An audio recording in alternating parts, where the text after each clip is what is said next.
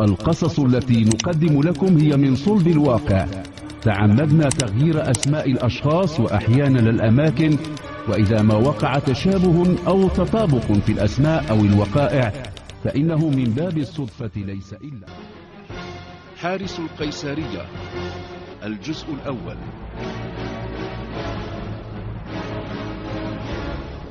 بعد أن ينصرف التجار بعد الزبناء يغلق العم محمد أبواب القيسارية وقد دأب على تناول وجبة العشاء مباشرة بعد أن يطمئن إلى أن لا أحد بقي في الداخل وأنه سيد عالمه الليلي. كان يتخذ من مكان مقابل للباب الرئيسي للقيسارية مجلسا له. يرسل قطعا من الكرتون ثم جلدة كبش بيضاء تزينها شامات بنية. يتناول طعامه بعد أن يشغل راديو كاسيت قديم لونه أسود. يستمع كل ليلة إلى أغاني أم كلثوم يحفظها عن ظهر قلب. وحين تتيه عن ذاكرته مقاطع أو كلمات فإنه يعوضها بدندنة تساير الإيقاع العام.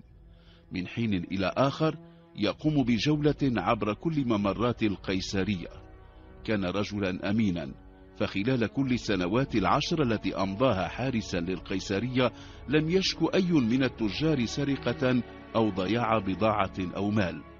في الصباح في حدود التاسعة يغادر العم محمد القيسارية بعد أن يصل أول تاجر. الذين يعرفونه عن قرب يعرفون أنه لم يتزوج وأنه يسكن غرفة اكتراها فوق سطح إحدى العمارات في حي المحيط في الرباط. عدا ذلك لا يعرف عن الرجل أي شيء آخر. في تلك العمارة قليلون هم الذين يعرفونه. يأوي إلى غرفته ضحى ينام ولا يستيقظ إلا عصرا ليستعد لليلة جديدة في القيسارية لم يكن يزوره أحد وقليلا ما كان ينزل إلى المقهى المقابل للعمارة. وقد ظن فضوليون أن وراء الرجل سرا ما كان تكتمه يستفز الفضول. رجل جاوز الستين يعيش وحيدا في الرباط كانت طريقته في الكلام تشي بأنه ينحدر من المنطقة الشرقية. لعل المرحوم الحاج القادري الذي كان أمين تجار القيسارية كان يعلم عنه أكثر من ذلك فهو الذي اتفق معه على أن يتولى الحراسة ليلا. الرجل كان ضمن مجموعة من عمال البناء قاموا بأشغال في القيسارية وقد أعجب الحاج بجديته وتفانيه في العمل وبما أنه نال ثقة الحاج فقد نال بالتالي ثقة كل التجار. مرت عشر سنوات نحن في العام سبعة وألفين. بدأت تظهر على العم محمد علامات العياء. علت سحنته صفرة وتراجعت بنية جسمه وبدأ يدب فيه النحول. أغلب التجار لم ينتبهوا إلى حالته كان يغادر القيسرية عند وصول أول تاجر. وحده تاجر الشربيل وخيوط الصقلي عبد الغني تنبه إلى أن العم محمد يعاني مرضا ما. سأله ذات صباح ولكنه لم يتلقى منه جوابا فقد شكره على اهتمامه وكان عبد الغني قد عرض عليه أن يصحبه إلى الطبيب. صار الرجل لا يقوى على القيام بجولاته الليلية في القيسارية ولم يعد ينبئ عن وجوده في الداخل سوى صوت أم كلثوم المنبعث من الراديو كاسيت. سرعان ما صار يستعين بعصا يتوكأ عليها. للقليلين ممن يتجاذب معهم الحديث بين فينة وأخرى شكى ألما في الظهر وفي الساقين. ثم ذات مساء لم يأت إلى عمله. رفع آذان العشاء في القيسارية ولما قضيت الصلاة تلك الليلة من مارس بدأ التجار يغلقون دكاكينهم وينصرفون. في جملة من تأخر المعلم عبد العزيز صاحب محل الخياطة التقليدية. وقد تنبه إلى أن العم محمد لم يأتي بعد وأنه تأخر إذ كان يأتي قبيل صلاة العشاء. كان على رابطة التجار أن تتدبر الأمر. اتصل عبد الغني بائع خيوط الصقلي بالعم محمد. ولكن هاتفه ظل يرن.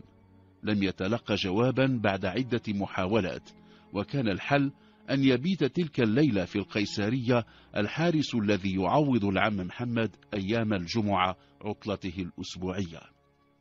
في صباح اليوم التالي تطوع عبد الغني لاستطلاع ما حدث للعم محمد فقد كان الوحيد الذي يعرف عنوان سكناه. يذكر أنه أوصله مرة إلى باب العمارة التي يسكن غرفة في سطحها. أوقف سيارته في باب العمارة. دخل. كانت عمارة قديمة تفتقر إلى العناية. قبل أن يتخطى الطابق الثاني التقى رجلا نازلا السلم. سأله عن العم محمد.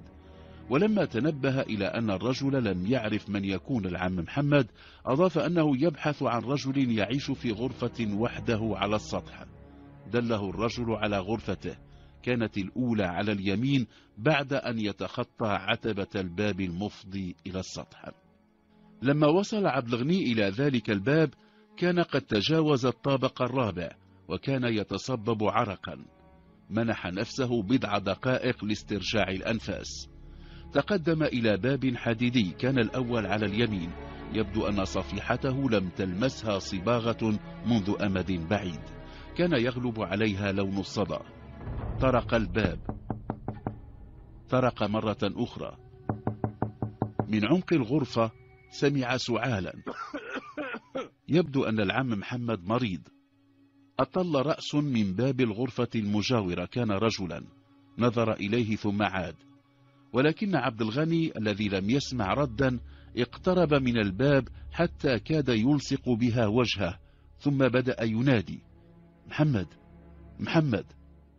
أخيرا سمع جوابا. ادفع الباب. ادخل. بالكاد كان يسمع صوته. دفع عبد الغني الباب فوجد نفسه في غرفة هي أقرب إلى ممر منها إلى غرفة. كانت تمتد بضعة أمتار وتنتهي بجدار به باب صغير لا دفة له. في عمق الغرفة الممر سرير من خشب. كان العم محمد ممددا. المكان شبه مظلم وبالكاد استطاع أن يتبين وجوده على السرير. كان ملتحفا بطانية داكنة الألوان. حاول الجلوس. دعك مستلقيا عمي محمد. قال له عبد الغني. كيف حالك؟ كما ترى فيك الخير سي عبد الغني. في أيام معدودات صار الرجل ظل نفسه. نهض من سريره مشى جهة الباب وأنار الغرفة. قال له عبد الغني سآخذك إلى المستشفى. لا الأمر لا يحتاج لا داعي. كان صوته خافتا. أرى أنك بحاجة إلى ذلك. نهض عبد الغني. بدا له أن الرجل في حالة ضعف شديد وأنه لن يستطيع تحمل نزول سلاليم العمارة ولذلك خطر بباله أن يأتيه بطبيب إلى غرفته تلك. سأعود بعد قليل. صمت العم محمد عاد إلى سريره واستلقى. بعد نحو ساعة عاد عبد الغني ومعه طبيب شاب فحص الشيخ طمأنه كتب له وصفة ولما كان نازلا من العمارة أسر لعبد الغني بأن الرجل في حالة صحية صعبة وأن عليه أن يدخل المستشفى للعلاج. اشترى عبد الغني الدواء الذي وصفه الطبيب وعاد إلى العم محمد. ناوله حبة وكأس ماء. كان عبد الغني يفكر في المستشفى الذي يمكن أن ينقل إليه. أعد له كأس حليب دافئ ولما رآه وقد استراح قليلا أبلغه بأن حالته تستوجب نقله إلى المستشفى. ولكن العم محمد عاد وأبدى امتناعه عن الذهاب إلى المستشفى. قال إن الدواء الذي وصفه له الطبيب سيحقق الشفاء المنشود. وحتى يقنع عبد الغني بأن صحته ليست بالتدهور الذي قد يتصوره. جلس على فراشه صمت قليلا ثم قال لا تقلق سي عبد الغني نحن في الحياة نسعد ونحزن نصح ونمرض ثم سنموت يوما حتما. كذلك قدر الإنسان في الحياة في حياتي سعدت بمعرفة رجال يستحقون رجولتهم مثلك سي عبد الغني. وصادفت أنصاف رجال وأشباه رجال سامحهم الله. كان يبدو وكأنه يحدث نفسه. فاجأ كلامه عبد الغني. بدا له وكأنه يقدم للإفصاح عن شيء ما ولكنه عاد ليلزم الصمت وحتى يستدرجه إلى قول ما قد يكون يريده قال عبد الغني نعم عمي محمد كذلك هي الحياة. نقابل خلالها أصنافا شتى من الناس. نلتقي من يسعدنا ونسعد به ومن يؤذينا ويظلمنا ومن ينصفنا. تنفس الشيخ نفسا عميقا. صمت حتى ظن عبد الغني أنه نام ثم عاوده سعال. ولما هدأ قال سي عبد الغني أنت إنسان طيب. العفو عمي محمد الله يشافيك. استمع جيدا إلى ما سأقوله لك واحفظه خيرا إن شاء الله. ناولني ذاك الصندوق الصغير. أشار إلى صندوق خشبي قديم كان بجوار حقيبة سفر. لما جاءه به فتحه وأخرج منه ظرفا أبيض. بداخله كانت مجموعة من الوثائق منها جواز سفر قديم. أخرج منه أيضا صورا ووثائق أخرى. كان عبد الغني يراقب في صمت. قال العم محمد هل أستطيع أن أستأمنك على سر؟ لم يرد عبد الغني كان يريد أن يعلم أولا. أريدك أن توصل هذه الأمانة إلى عائلتي. كانت المرة الأولى التي يسمع فيها العم محمد يتحدث عن عائلته. الجميع في القيسارية يعلمون أنه رجل يعيش وحيدا ولا يعلم له أهل ولا أقارب. هم عبد الغني بالحديث ولكن العم محمد طلب منه أن يتريث. قال له لن أدعك حيرانا سوف أفضي إليك بأشياء أرجوك أن تحفظها. اسمي عبد الكبير وليس محمد.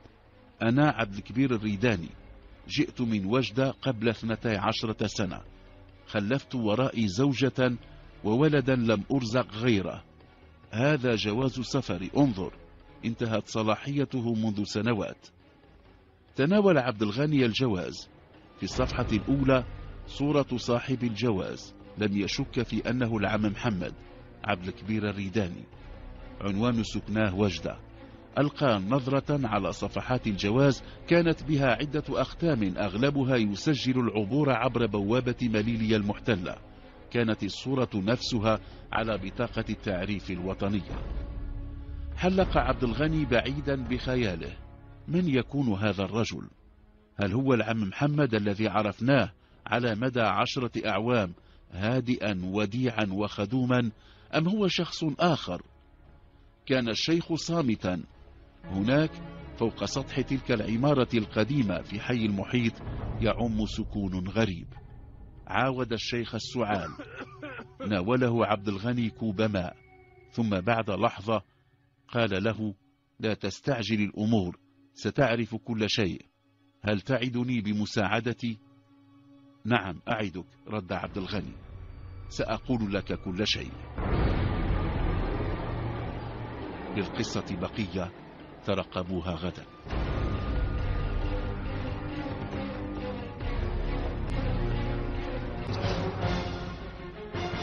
حارس القيسارية الجزء الثاني والأخير. ظهر ذلك اليوم ساد سكون سطح العمارة حيث يكتري العم محمد غرفة. وبرغم المرض الذي كان ينخر جسده كان الرجل يبدو سعيدا. لقد آنس وحدته ذاك اليوم عبد الغني تاجر الشربيل وخيوط الصقلي في تلك القيسارية التي يعمل بها منذ عشر سنين. جاء إليه بطبيب إلى غرفته وصف له دواء وأسر إلى عبد الغني بأن حالة الرجل تستدعي نقله إلى المستشفى. ولكن العم محمد الذي تبين الآن أن اسمه الحقيقي عبد الكبير الريداني رفض بإصرار. كان يفكر في البوح بأسراره. استوى على سريره وقال بصوت به بحة سأقول لك كل شيء فربما أدركني الموت. لقد أخفيت هويتي الحقيقية لأنني كنت ملاحقا من أحدهم. كان شقيقه شريكا لي في التجارة. كنا نعمل في التهريب. مات المسكين في حادثة. انقلبت السيارة التي كان قد حملها بمواد مهربة كان ينقلها إلى سوق بن درار اشتعلت النار في السيارة. ظل حبيس الحطام ومات. سكت قليلا وكأنه يستحضر الوقائع. كان يبدو حزينا. كانت تجارتنا رائجة وكنا نتقاسم ما تدره علينا من أرباح. لم يحدث بيننا خلاف يوما. كان الشرقي رجلا مستقيما. اشتغلنا سنوات معا. كذلك كان قدره أن يموت في تلك الحادثة الأليمة. باغت الشيخ السعال ولما هدأ استأنف حديثه. لقد أعطيت أرملته ما كان بذمتي من ماله ولكن شقيقه كان يريد أن أتعامل معه وأن يكون المستفيد من تصفية الحساب. ذات مساء طلب مقابلتي. اتفقنا على اللقاء بالقرب من المطار. لم يكن بمفرده. كان معه شخص آخر لم أكن أعرفه. عاود مطالبتي بنصيب شقيقه في تجارة. كنت قد سلمت أرملته كل شيء وقد أكدت له ذلك. ذكرته بأن ذلك تم بحضور شهود. ولما أيقن أنه لن يحصل مني على شيء هددني. قال إنه سيقتلني ذات يوم. احتدت نبرة الحديث بيننا. تدخل الذي معه يريد أن يضربني. قاومته ثم سقط على الرصيف. ارتطم رأسه بحجر كان هناك. حاول النهوض ولكنه لم يقوى على ذلك. رأيت الدم يخرج من رأسه. امتطيت سيارتي وانطلقت مسرعا. كنت خائفا. لم أحسب أن الذي حدث سيؤدي بي إلى الرحيل عن وجدة. علمت لاحقا أن الرجل مات يومين بعد ذلك وأن شقيق شريكي السابق اعتقل وتوبع بتهمة القتل غير العمد. في محاضر الشرطة ورد ذكر اسمي وخشيت أن يتم القبض علي. في تلك الليلة ودعت زوجتي وولدي نبيل الذي كان في الثامن من عمره. قلت لها إنني راحل عن وجدة وسأعود بعد أن تهدأ الأمور وإن سألوك عني قولي إنك لم ترينني منذ ثلاثة أيام. كان عبد الغني ينصت باهتمام. أضاف في حدود منتصف الليل امتطيت القطار الذي انطلق إلى فاس. رن هاتفي المحمول عدة مرات ولكنني كنت أخاف الرد. كنت أرى على الشاشة أسماء أصدقاء وحتى رقم هاتف زوجتي ولكنني لا أرد لأنني كنت أخشى أن يكون الاتصال كمينا. نزلت في فاس. لم يكن لي في المدينة معارف أو أقارب.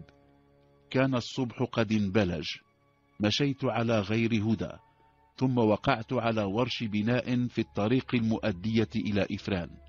اشتغلت مع شركة بناء عاملا بسيطا. لم أكن متعودا على إعداد خلطات الإسمنت. كنت أبيت في الورش. في الأيام الأولى كنت كلما آويت إلى البراكة أحس بحجم التعب الذي ينالني. عملت مع تلك الشركة في فاس عامين. ولما حصل صاحبها على صفقة الإصلاحات في القيسرية هنا في الرباط انتقلت معه. قررت ألا أعود إلى وجدة.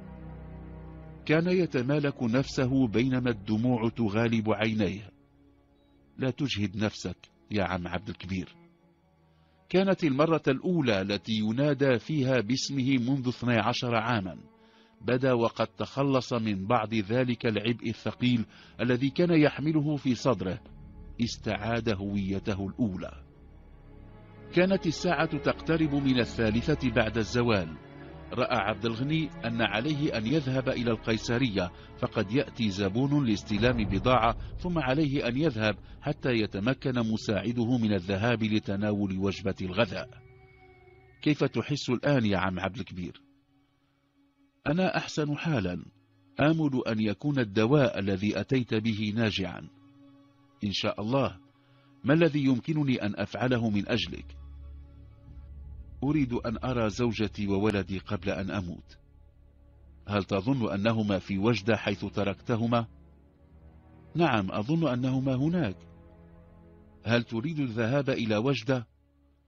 صمت الرجل ثم تنفس بعمق وقال آه وجدة وجدة بعيدتنا الآن. قال عبد الغني حين تشفى من مرضك سنساعدك على الذهاب إلى وجدة. تبسم وقال إن شاء الله. كتم عبد الغني سر العم محمد. عاده في غرفته هناك فوق السطح بعد يومين. بدأت تظهر عليه بعض علامات التحسن. سلمه قدرا من المال مساعدة من تجار القيسرية سأله إن كان قرر الذهاب إلى وجدة. سأحاول الاتصال بزوجتي وولدي. إن تسنى لي ذلك طلبت منهما أن يأتيا عندي إلى هنا. هل لديك وسيلة للاتصال بهما؟ أخرج من صندوقه الخشبي الصغير ورقة بها رقم هاتف البقال الذي كان يتعامل معه. طلب من عبد الغني أن يحاول الاتصال بذلك الرقم. وأن يسأل عن نبيل ولد عبد الكبير أو عن أمه جميلة. شكل عبد الغني الرقم على شاشة هاتفه المحمول. إنه يرن.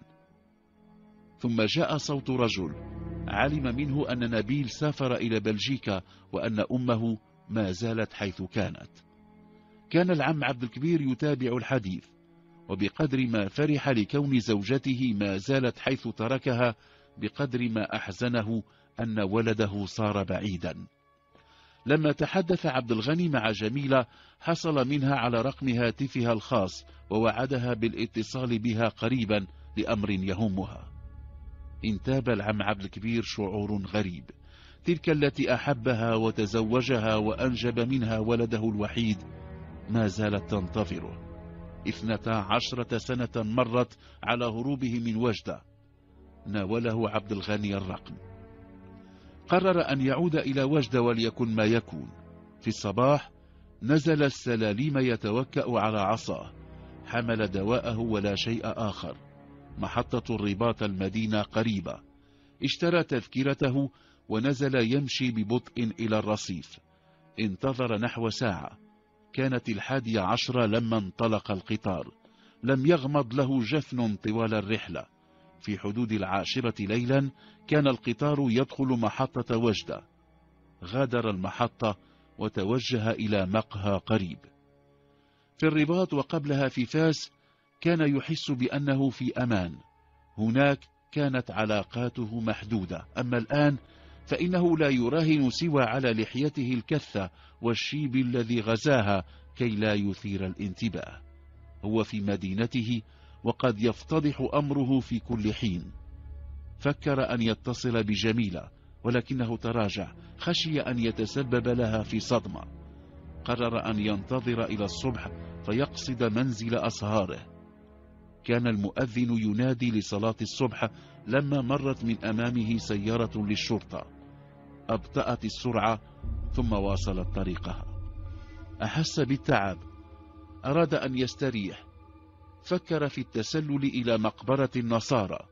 قصدها في نهاية الأمر قرر أن يتمدد على الرصيف في زاوية تخفيه عن الأنظار. لم يدر كم مر من الوقت. أيقظه حارس المقبرة. كانت الساعة تقترب من العاشرة والنصف. نهض ومضى إلى دار أسهاره. فوجئوا به في الباب. حكى لهم هروبه. اتصلوا بجميلة لم تتعرف عليه في البدء وحتى بعد أن عرفته لم ترتم في أحضانه. ظل يحلم بتلك اللحظة 12 عاما. كانت تراه خائنا تخلى عنها وعن ولدها بدون سبب حقيقي. قالت هلا.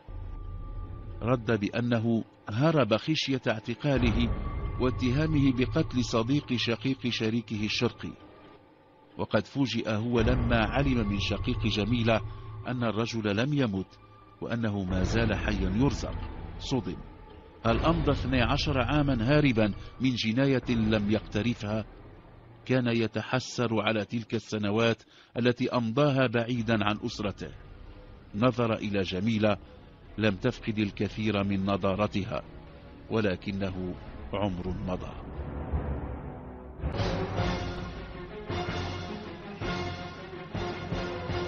رابح الخاسر الأكبر.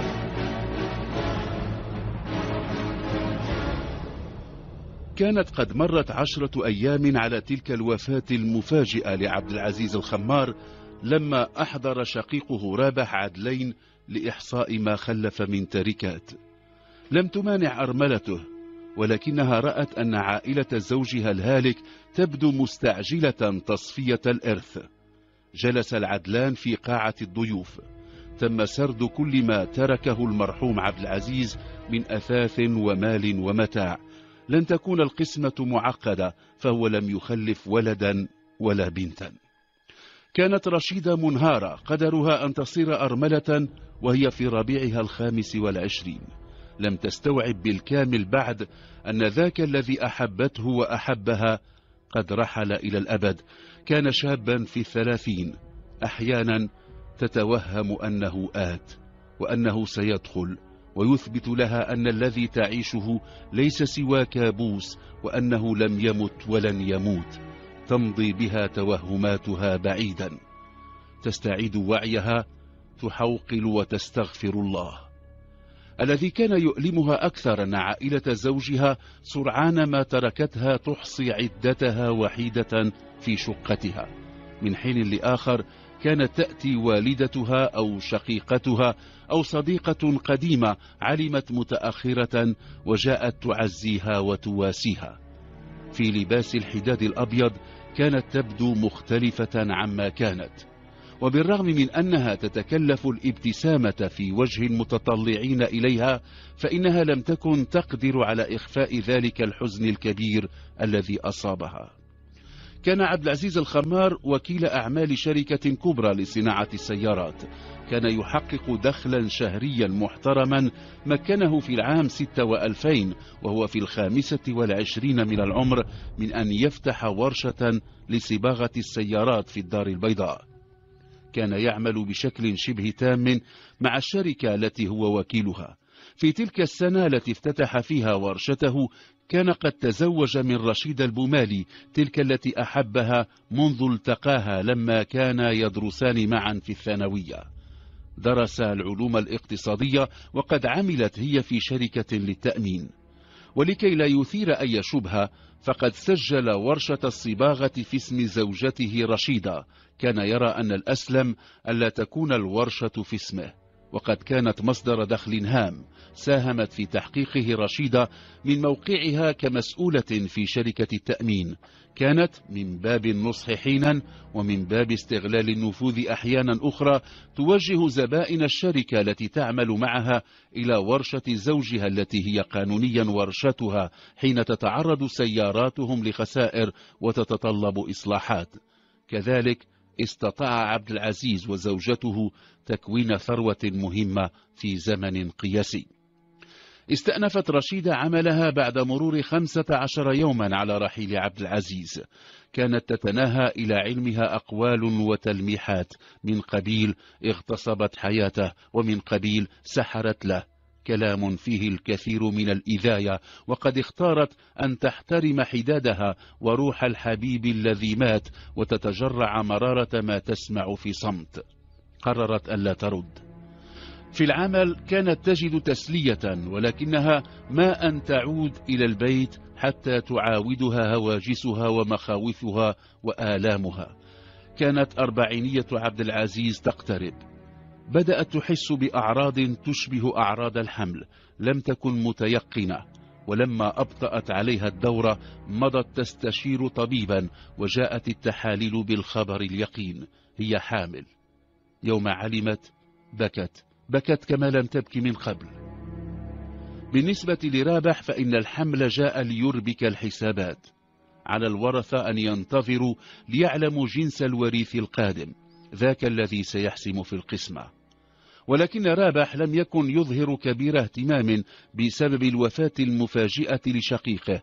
كان يعيد ويكرر ذاك قدر الله وقضاؤه وإن الإنسان لما يحين أجله يرحل إلى دار البقاء. كان الشقيق الوحيد للراحل عبد العزيز ولم يكن يشبهه في سلوكه. كان قد راكم الفشل تلو الفشل. ولما انقطع عن الدراسة لاحظ عبد العزيز أن شقيقه صار يميل إلى الانحراف. ولعل تدخله هو الذي جعله يعيش صحوة عقدية دينية. هو الذي لم يكن للدين في حياته حضور كبير. ساعده على الانخراط في تجارة الخضر والفواكه. اكترى له دكانا لا يبعد كثيرا عن منزل العائلة. لاحظت رشيدة أن شقيق زوجها صار يؤثر على والدته ويدفعها إلى اتخاذ موقف يميل إلى العداء. كانت امرأة مكلومة. رشيدة تعي ذلك تماما. ولقد ازدادت عدوانية رابح لما علم أن ورشة صباغة السيارات التي كان يحلم أن تؤول إليه إنما هي في ملك رشيدة. صحيح أنه لم يخسر كل شيء فربما كان له نصيب في المال وربما عاد إليه شيء مما خلف المرحوم غير أنه كان يراهن على ورشة صباغة السيارات. لمح متهما إلى أن الأوراق التي تتوفر عليها الأرملة إنما هي وثائق زائفة. أحست بأن الطمع يعمي بصيرته وردت يوما بأن رابح صار مصدر تهديد لها وللذي في بطنها. أحست وكأنه يود لو لا يولد ذلك الوارث الجديد. كانت الأيام تمر رتيبة فارغة كما كانت تقول. ثم ذات مساء جاءها وحيدا إلى بيتها. قال لها إنه يريد أن يرى الأوراق التي تثبت ملكيتها لورشة صباغة السيارات. وقد ردت عليه أنها لدى المحامي الذي سيتولى تمثيلها وتمثيل الذي في بطنها حين يحين أوان القسمة. لم يستسغ أن تكون المرأة قد تصرفت من تلقاء نفسها ودون الرجوع إليه. يومها أبلغته بأنه لم يعد بالنسبة إليها سوى رجل كان شقيقا لزوجها المتوفى. نظر إليها وقال سوف لن أنتظر الآتي حسبت كلامه تهديدا جديدا. طلبت منه ألا يعاود المجيء في الأيام التي تلت أحست أنه يراقبها. صار حملها ظاهرا الآن. الذي سيولد لن يعرف أباه. ستحكي له عنه قصصا وبطولات إلى أن يكبر. الفحص بالرنين المغناطيسي رجح أن المولود الذي تنتظره رشيدة سيكون ذكرا. لم تعلم كيف تسرب الخبر إلى رابح. اسود وجهه. كانت تلك بالنسبة لرشيدة لحظة إنذار. الرجل قد يجن. أن يولد لشقيقه مولود ذكر يعني أنه لن يناله شيء مما ترك.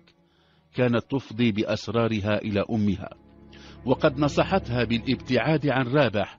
وهكذا قررت الرحيل عن الدار البيضاء. كان لشركة التأمين التي تعمل بها فرع في مكناس. طلبت نقلها إلى ذلك الفرع ثم في مكناس لن تعاني الوحدة هناك منزل خالها اختفت رشيدة لم يعد يرها. حام حول منزل والدتها وحول مقر شركة التأمين حيث كانت تعمل ولكنها لم تظهر. في الشركة قالوا له إنها انقطعت فجأة عن العمل. لم يكن يجرؤ على السؤال عنها في منزل والدتها. كان يعلم أن للشركة فرعا كبيرا في الرباط. لم يتردد ومضى يسأل عنها هناك. لم يتلق ردا يشفي غليله وعاد خائبا. على مدى أربعة أشهر ظل يبحث عنها. انتقلت والدتها إلى مكناس لتكون معها لما تاتي ساعة الوضع.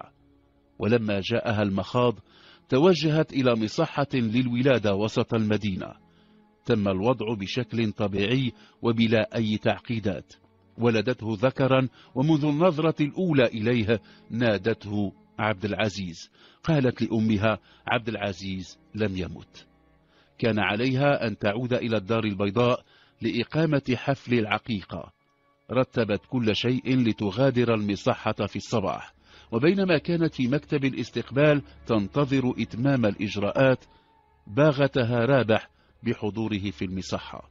كانت تحمل وليدها. دون تمهيد تقدم وأراد أن يقبله حالت بينها وبينه. دعيني أراه.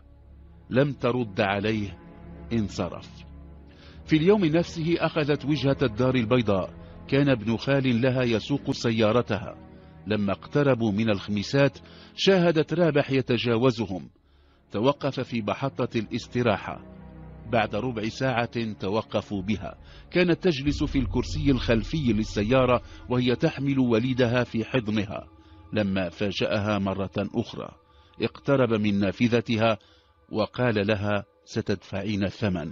قالها ثم مضى. صارت رشيدة ترى فيه مصدر تهديد حقيقي ليس لها فحسب بل لوليدها عبد العزيز. بعد استراحة قصيرة استأنفوا الرحلة. كانت والدتها تهدئها إذ كانت تحس بقلق شديد.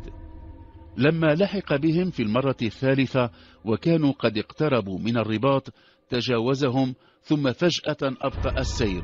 اضطر ابن خال رشيدة إلى الضغط بقوة على الفرامل. استدارت السيارة في مكانها ثم انقلبت. دارت على نفسها ثلاث أو أربع مرات قبل أن تستقر في منحدر على جانب الطريق. بعدها لا تذكر سوى وجودها في المستشفى. كان أول سؤالها عن عبد العزيز الصغير. جاءوا به لم يمسسه سوء. أصيبت هي وأمها بكدمات في أنحاء مختلفة من جسمهما ولكنها لم تكن ذات خطورة بينما أصيب ابن خالها بكسر في ذراعه. في أقوالهم التي أدرجت في محضر الدرك الملكي إجماع على أن رابح هو الذي تعمد التسبب في تلك الحادثة. صار مبحوثا عنه. بعد ثلاثة أيام عثر عليه وقد شنق نفسه داخل دكانه. في ورقة عثر عليها بجانبه كتب أنه لن يطيق العيش بعد أن خسر معركته مع ربه يوسف القناع البشوش.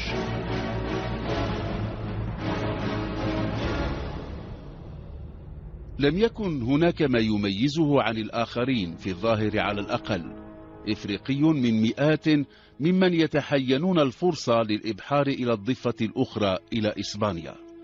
يوسف يقول إنه اسمه كان واحدا من أولئك الذين درج الناس في حي مسدان بطنجة كما في أماكن أخرى يتواجدون بها على مناداتهم مونامي وتعني بالفرنسية صديقي.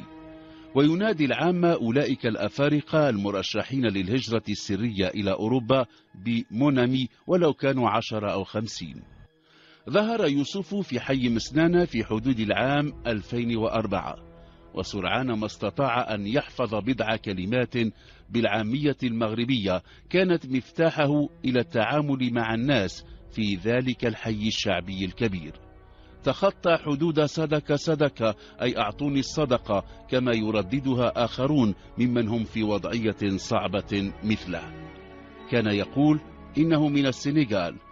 في الحقيقة لم يكن الناس يتوقفون كثيرا عند جنسية يوسف مونامي. ولا عند دينه وملته فذاك أمر لا يهمهم. وكما آخرين ممن اتخذوا من حي الرهراه المحاذي لمسنان مستقرا لمس يوسف كرم المغاربة. كانوا يتصدقون على أولئك المساكين وفي الأعياد في عيد الأضحى مثلا يجعلون لهم نصيبا من أضحياتهم إذ يعتبرونهم أبناء سبيل. حاول يوسف أن يكسب من عرق الجبين.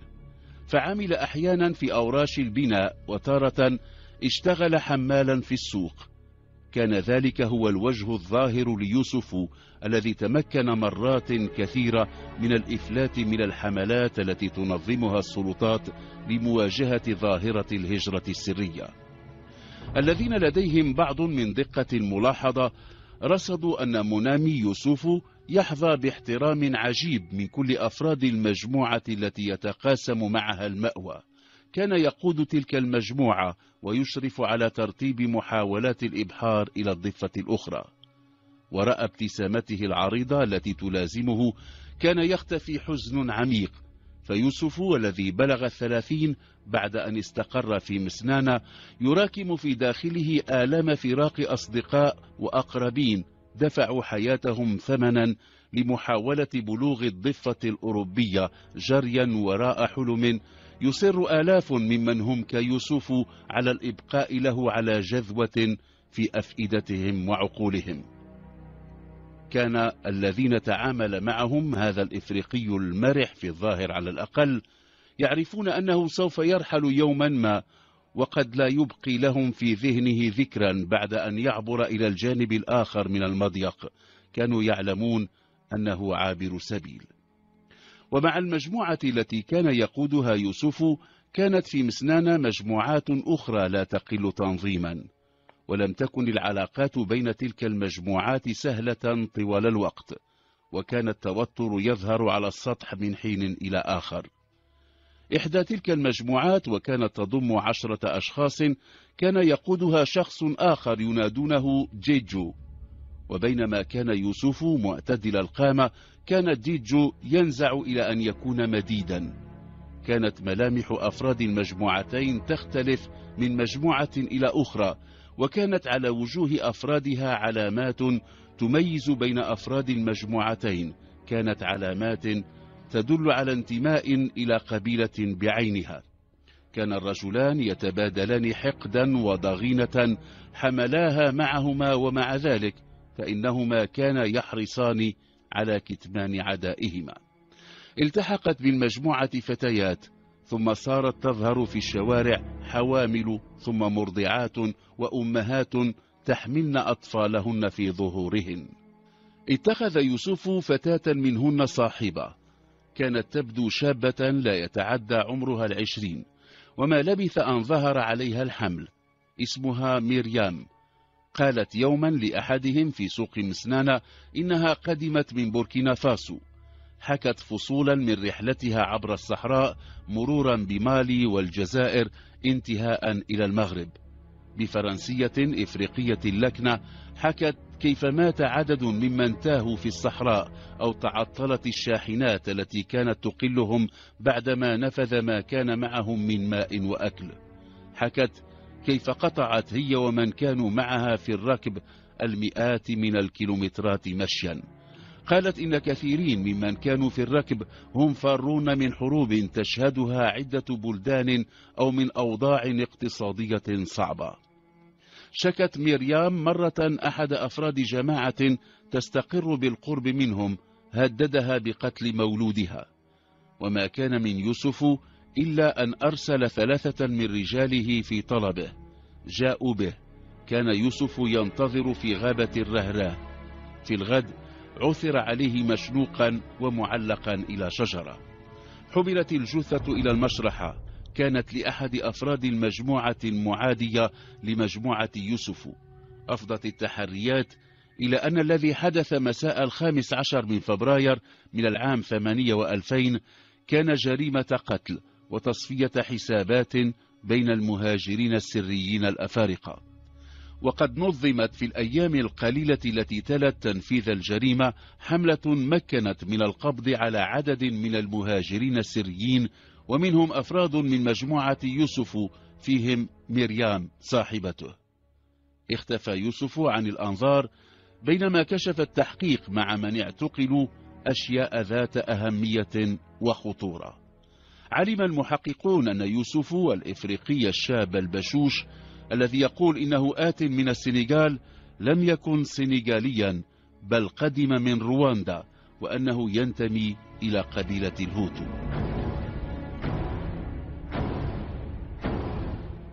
كانت الفرضية الأقوى أن يكون يوسف واسمه الآخر هو ميمبا سوسوكو قد التحق بمجموعات المهاجرين السريين التي تتخذ مخابئ لها في غابات بليونش بمحاذاة السياج المقام حول مدينة سبتة المحتلة. وبدأ تعقبه أمرا تحفه عدة صعوبات. ثم بدأت تأتي من المداشر المحيطة بغابات بليونش أصداء عن شخص من مالي يدعى تجان ديالو. قال الذين التقوه إنه شاب وديع استطاع تعلم العامية المغربية. كان يتصرف كما كان يفعل من قبل في مسنانا بطنجة. يتقرب إلى الساكنة ويقيم علاقات تتيح له رصد أخبار ومعلومات تفيده في التخفي.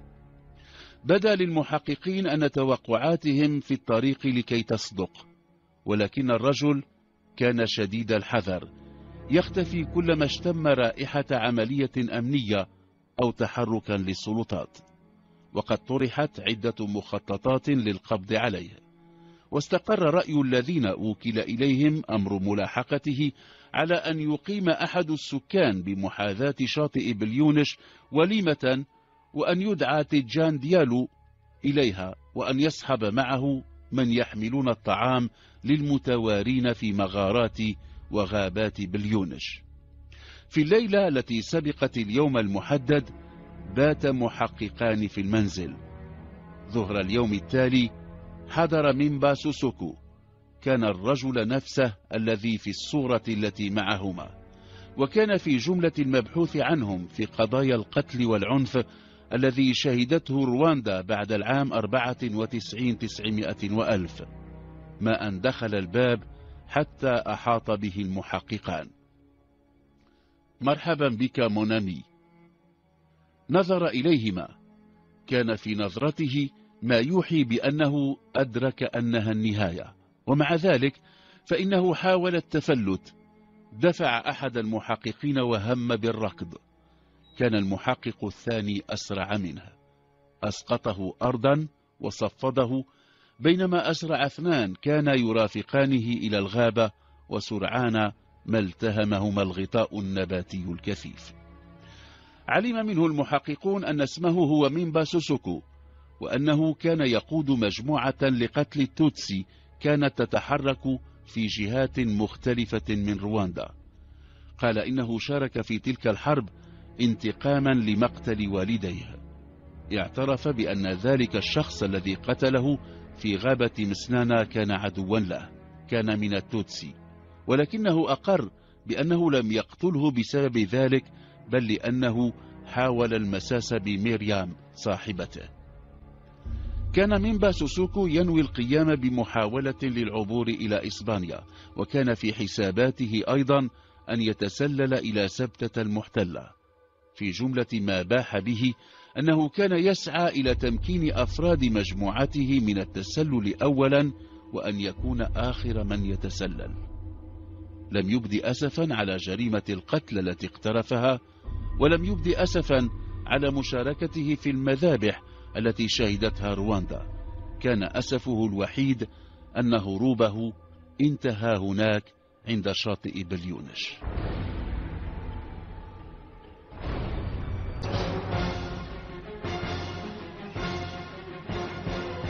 فرانسيسكو وكلارا ديلمار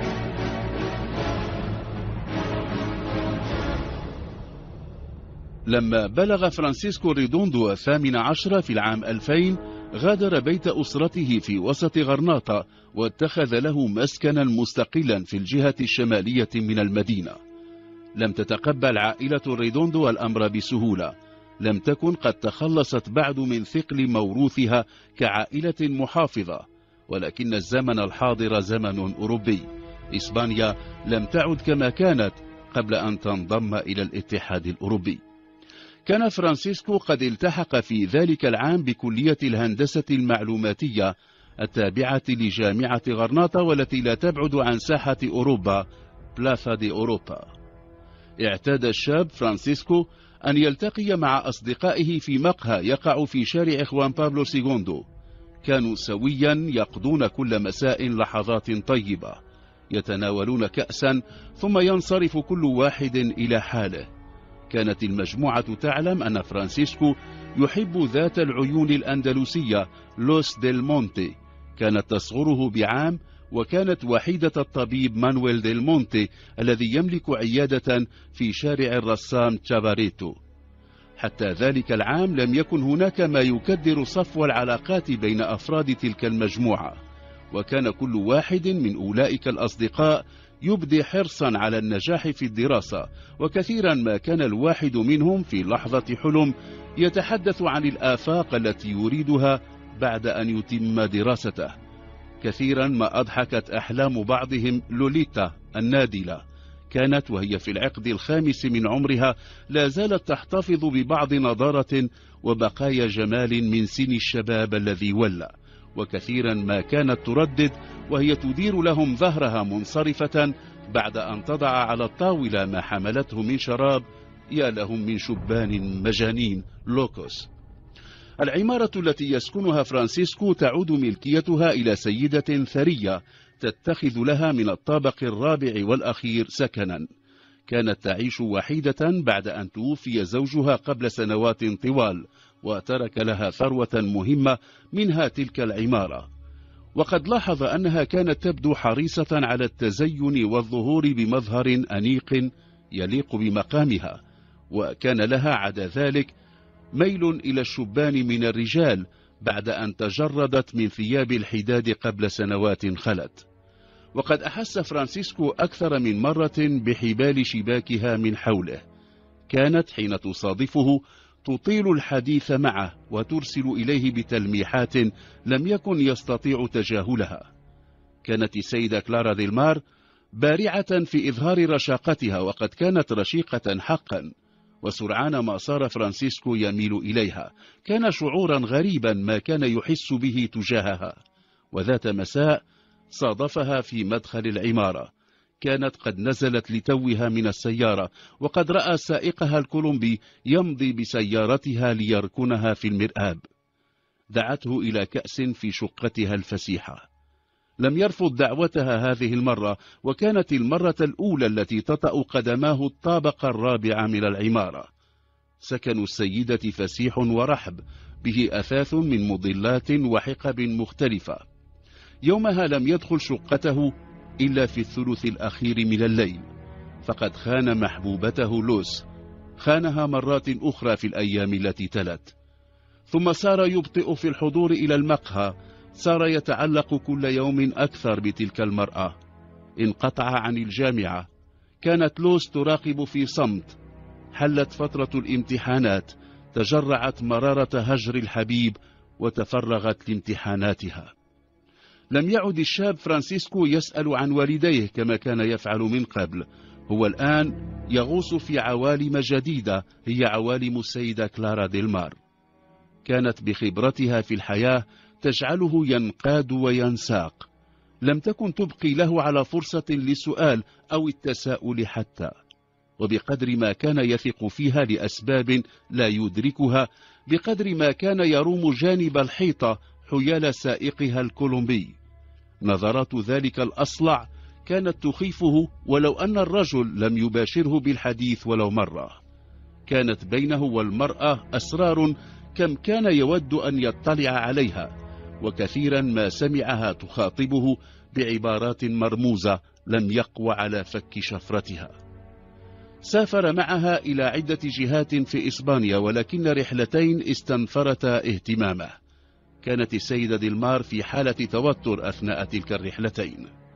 يوم سافر معها إلى الجزيرة الخضراء ويوم كانت الرحلة أطول إلى سانتاندير.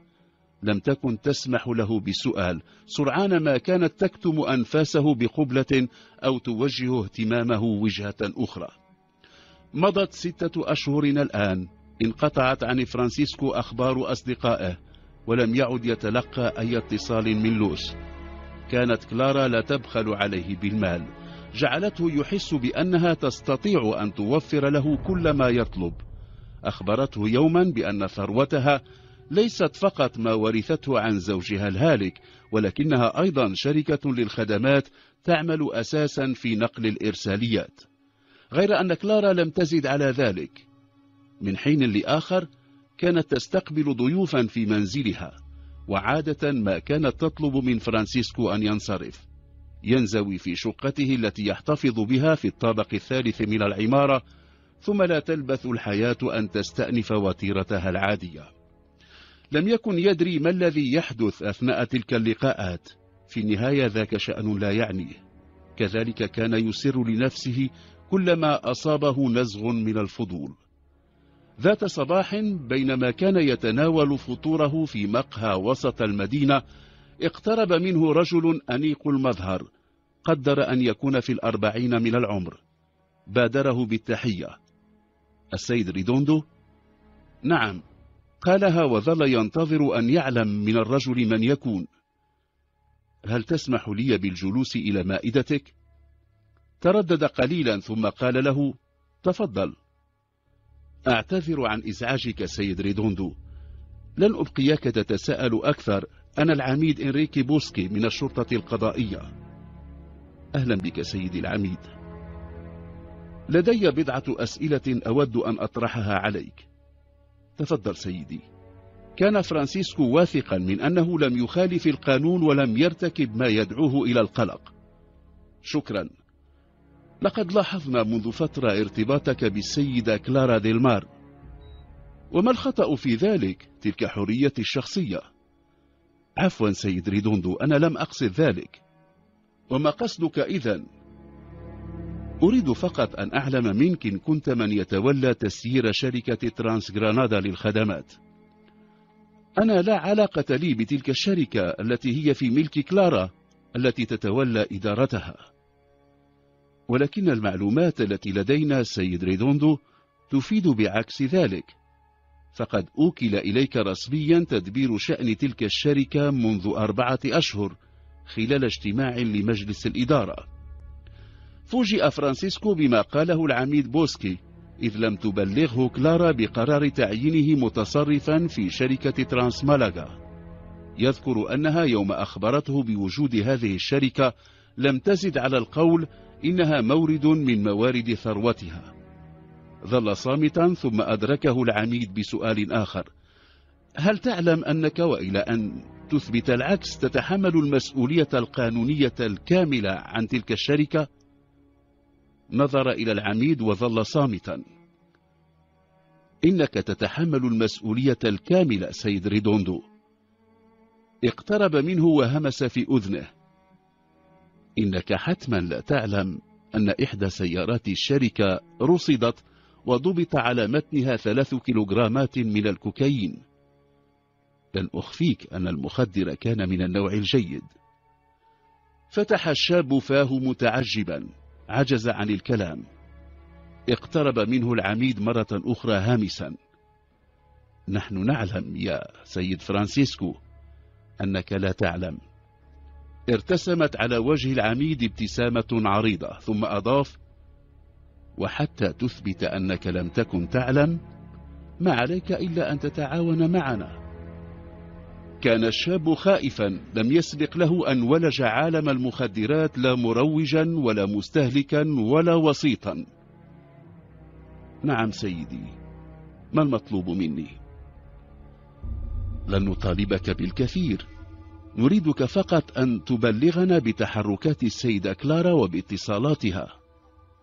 هذا رقم هاتفي. أبلغني بكل ما يثير انتباهك. طاب يومك. فطورك شهي سيد ريدوندو. طاب يومك سيدي. خرج العميد من المقهى تبعه فرانسيسكو بنظرات شاردة. لم يكن الشاب قد استوعب بالكامل خطورة الموقف الذي يوجد فيه. هل يعقل أن تكون تلك السيدة التي تحبه كل ذلك الحب أفعى كامنة تتحين الفرصة لتصيبه بلدغة قاتلة؟ هل قربته إليها وأغوته بما بقي لديها من جمال لتتخذه درعا وغطاء لحياة موازية. لما نهض وغادر المقهى رن هاتفه. كانت كلارا في الجانب الآخر. أين أنت حبيبي؟ لم أرد أن أزعجك. خرجت إلى وسط المدينة. تناولت الفطور. لوحدك؟ كان في صوتها غنج. قرر أن يلعب اللعبة في انسجام. هل تشكين في ذلك حبيبتي؟ أخاف عليك الحسنوات. لن تبلغن مقامك حبيبتي كلارا. تعال حبيبي لا تتأخر سنسافر معا إلى مالاغا.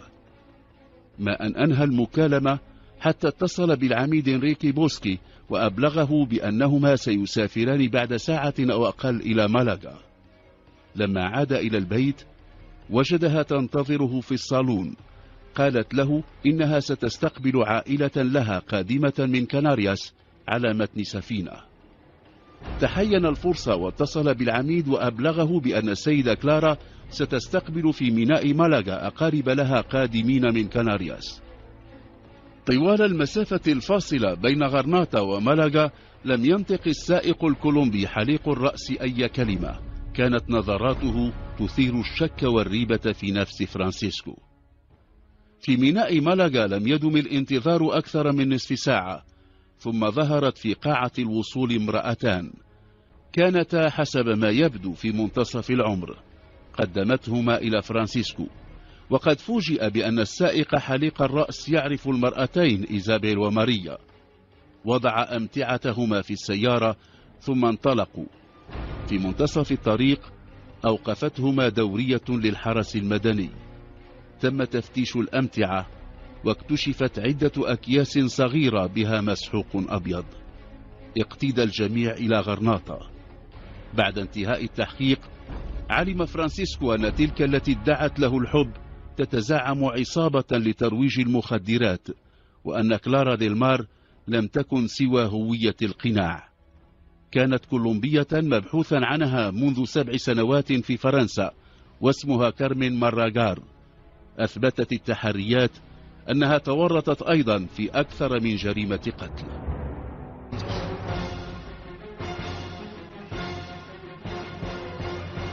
طارق في بطن الليل.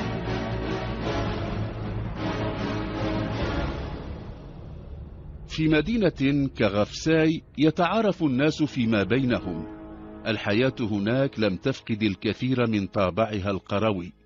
وسرعان ما يتم اكتشاف الغريب وسرعان ما يعلم سبب مجيئه إلى هذه المدينة الصغيرة.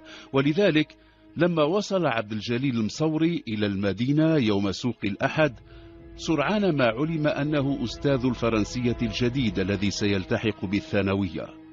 ربما كان توقيت وصوله إلى هناك مما ساعد على التعجيل باكتشاف أمره. ففي أواخر غشت قليلا ما يفد الغرباء على غفساي ثم إن الرجل ما لبث أن توجه إلى بقال قريب من الثانوية يبحث عن منزل يستأجره. وقد دله على منزل غير بعيد هو منزل عبد الله العسال. في المدن الصغيرة لا شيء يظل خفيا لمدة طويلة. مع مغرب ذلك الأحد الثالث والعشرين من غشت من العام ثمانية وتسعين تسعمائة وألف علم في غفساي أن الوافد الجديد أستاذ للغة الفرنسية حديث التخرج وأنه قادم من مدينة العرائش. لاحقا سيعلم عنه أنه أعزب وأنه يبلغ من العمر أربعة وعشرين عاما. اكترى الشاب عبد الجليل سكنا اقتطعه عبد الله العسال من الطابق الأرضي لمنزله وكان عليه أن ينقل إليه الأثاث ولذلك غاب عن المدينة بضعة أيام. لما انطلق الموسم الدراسي كان عبد الجليل قد أتم تأثيث سكنه. كان له تلفاز ومكتبة صغيرة وسرير وبضع أوان في المطبخ. لم تكن لديه ثلاجة. وحين يشتري لحما فإنه يطلب من عائلة العسال أن تضعه في ثلاجتها إلى حين. كانت لصاحب البيت فتاة تبدو في السادس عشرة أو أكثر من ذلك بقليل. في أغلب المرات كانت هي التي تتسلم منه ما يريد وضعه في الثلاجة كانت على قدر من الحسن وأجمل ما لديها ابتسامتها تلك الممزوجة بخجل لا يخفى. اسمها زهرة. سيعلم مدرس اللغة الفرنسية بعد فترة أن الفتاة انقطعت عن الدراسة قبل عام دراسي مضى وأنها تلازم البيت. تساعد أمها في القيام بأعباء الأسرة.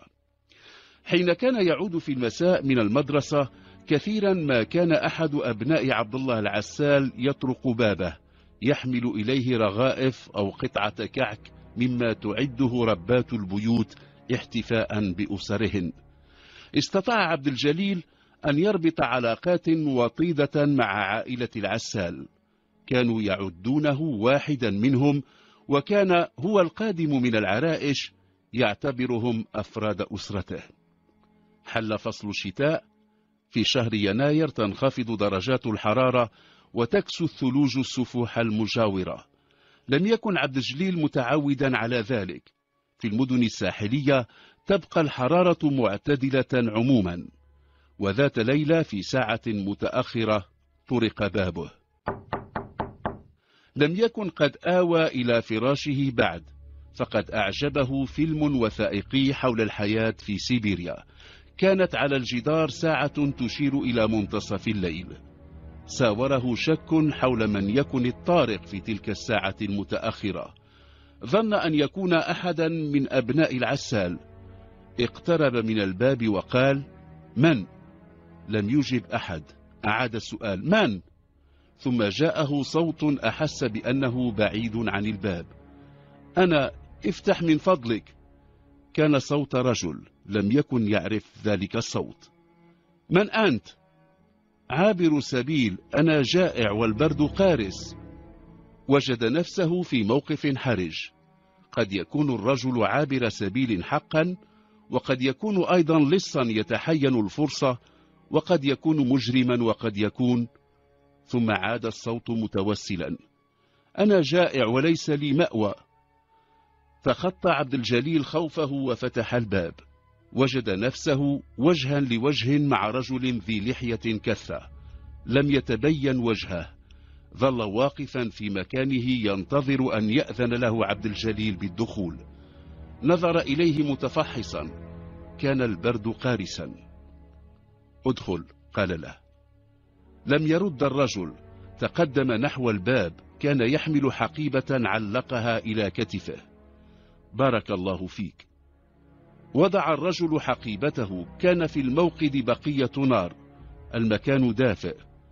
جلس القرفصاء وعرض كفيه على الموقد ثم نزع حذائيه. تقدم نحو المائدة وجلس. ذهب عبد الجليل إلى المطبخ وجاء بكأس ما لبث أن ملأه شايا. قدم له الكأس دون أن يقول له شيئا. شرب الرجل الشاي برشفات متتالية. مرحبا بك قال عبد الجليل. هل أنت جائع؟ نعم لم أذق طعاما منذ البارحة. لم يرغب أن يحرجه بسؤال. تبسم في وجهه ثم مضى إلى المطبخ. كان لديه بقية من طعام. أعد بيضا مقليا ووضع في صحن بعض الزيتون. كان الغريب ينتظر. شد انتباهه الفيلم الذي كان عبد الجليل يشاهده. تفضل. بارك الله فيك. عاد عبد الجليل إلى كأس الشاي بينما كان الغريب يأكل. انتهى الشريط الوثائقي حول سيبيريا. غير القناة كانت في إحداها نشرة للأخبار. لما انتهى الرجل من الأكل سأله عبد الجليل عن اسمه. الراجي. من أين جئت سراجي من مكناس. وإلى أين تريد؟ لست أدري لم أقرر بعد. نظر إليه عبد الجليل مليا. كانت لحيته الكثة تخفي الكثير من ملامحه وكانت ملابسه المتسخة تبعث على الريبة والشك. أعد له مكانا ينام فيه وجاءه بغطاء. أطفأ التلفزيون ثم الأضواء ودخل إلى غرفة نومه. أغلق الباب بإحكام ثم استلقى على السرير. من حسن حظه أن الصبح الذي يقترب صبح يوم أحد لن يذهب إلى العمل. يذكر أنه أمضى وقتا طويلا قبل أن ينام.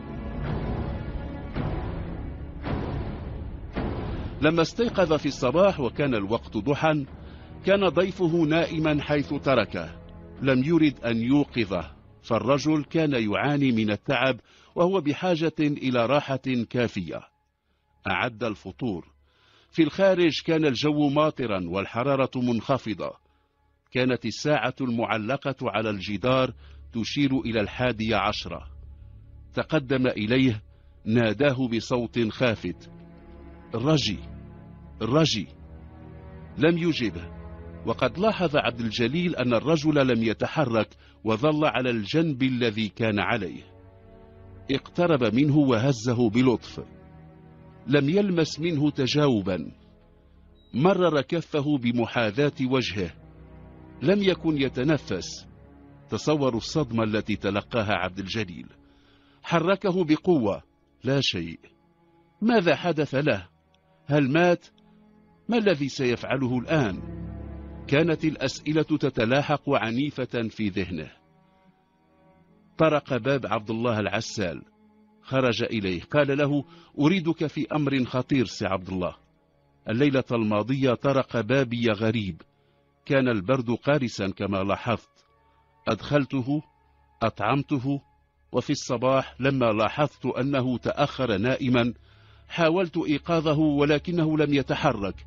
بدا لي أنه لا يتنفس قد يكون مات. شحب وجه أستاذ اللغة الفرنسية الشاب. لم يكن عبد الله العسال يخفي قلقه وخوفه. ففي النهاية إذا كان الرجل ميتا فإنه سيكون مات في بيته وسوف يسأل عن ذلك لا محالة. رافق عبد الجليل إلى الداخل.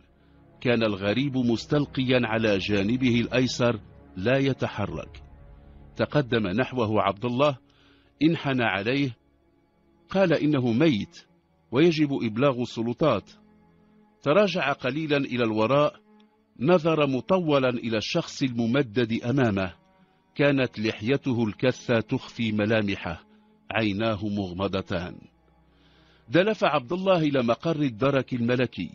بعد أقل من نصف ساعة عاد إلى المنزل ومعه دركي كان عبد الجليل ينتظر. تقدم الدركي وجس النبض على مستوى المعصم ثم الوريد. أظن أنه ما زال على قيد الحياة. طلب سيارة إسعاف الجماعة. لم تتأخر إذ لم تكن بعيدة. تم نقله إلى المستشفى في تونات بينما تم الاستماع إلى عبد الجليل وعبد الله. مساء ذلك اليوم استعاد الرجل وعيه. حاول أن يقنع رجال الشرطة القضائية الذين انتدبتهم النيابة العامة للاستماع إليه بأنه جندي متقاعد اسمه الراجل بن نوري. كانت وثائق الهوية التي معه تفيد بذلك ولكن عدم قدرته على الإدلاء بمعلومات حول مساره كجندي جعلت الشكوك تحوم حوله.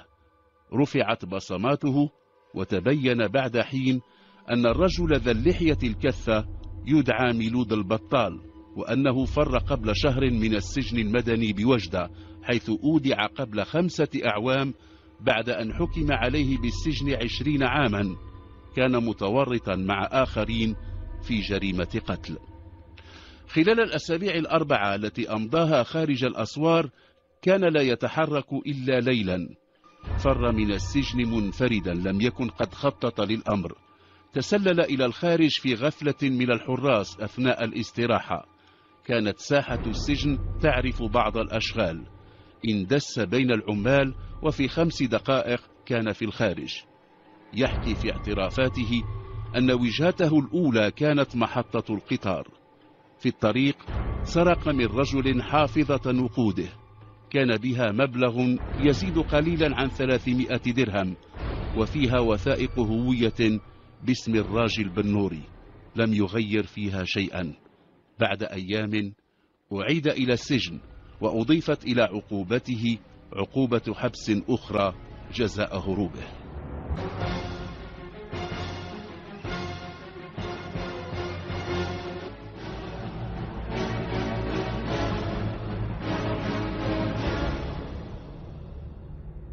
أسرار بيت الكندي. قبل عشرة أعوام استقر باتريك لوبلون في وزان. استأجر منزلا في زنقة متفرعة عن شارع المسيرة الخضراء. كانت محطة التاكسيات قريبة ولم يكن ضريح موليتهام بالبعيد. وعلى مدى عشرة أعوام ظلت علاقات باتريك لوبلون محدودة. كان يعرف بالكندي. كان كثيرا ما يتحدث لمعارفه عن سنوات الشباب في كيبك. هو الآن في الخامسة والخمسين. لم تعرف له حرفة محددة. يبدو أنه اشتغل في النجارة وعمل سائق شاحنات من الوزن الثقيل. وقد سمعه أحدهم مرة يحكي عن بضع سنين قضاها في إحدى شركات الأمن. في أيام الشتاء حين يأتي البرد من الجبال المحيطة بوزان كان يرتدي الجلباب المغربي التقليدي المصنوع من الصوف. كانت قامته المديدة تلفت إليه الأنظار ثم مع مرور الوقت اعتاد الناس على الأمر. كان قليلا ما يستقبل ضيوفا في منزله غالبا ما كان يتم ذلك في عطل نهاية الأسبوع. كان ضيوفه من الأجانب من الفرنسيين المقيمين في فاس أو طنجة أو شفشاون القريبة. في المرات التي يعلو فيها صخب السهر في بيته كان لا يتردد في الاعتذار لجيرانه ومن حين لآخر كان يمتطي دراجته النارية الكبيرة ويختفي لعدة أيام. وقد استنتج فضوليون أنه ربما كان يزور أصدقاءه الفرنسيين في شفشاون أو طنجة. لم يكن يعلم ما يجري وراء بابه ونوافذه المغمضة. وقبل ثلاثة أعوام استقرت معه في المنزل امرأة أوروبية كانت تبدو في الأربعين من العمر وسرعان ما علم أنها خطيبته وأنها إسبانية استقرت قبل أشهر في شفشاون اسمها باولا باولا فقط. وعلى عكس تحفظه كانت المرأة تنزع إلى الانفتاح على الجيران لعل مزاجها الإسباني محركها في ذلك. وفي وقت وجيز صارت تتقرب إلى جاراتها يحذوها فضول تعلم الطبخ المغربي والطرز وبعض التقاليد الوزانية. كانت من حين إلى آخر تدخل بيتا من بيوت الجيران كانت الجارات ترحبن بها. كانت تتحدث فرنسية تكاد تكون سليمة وكانت جاراتها من الشابات تبذلن جهدا للتواصل معها وحين لا تسعفهن الكلمات تلجأن إلى الإشارات. هكذا نسجت باولا علاقاتها مع محيطها. وعن طريقها علم مثلا أن باتريك لوبلون قبل أن يستقر في وزان أمضى بضع سنين في فرنسا في مارسيليا وأنه كان يملك هناك حانة ومطعما.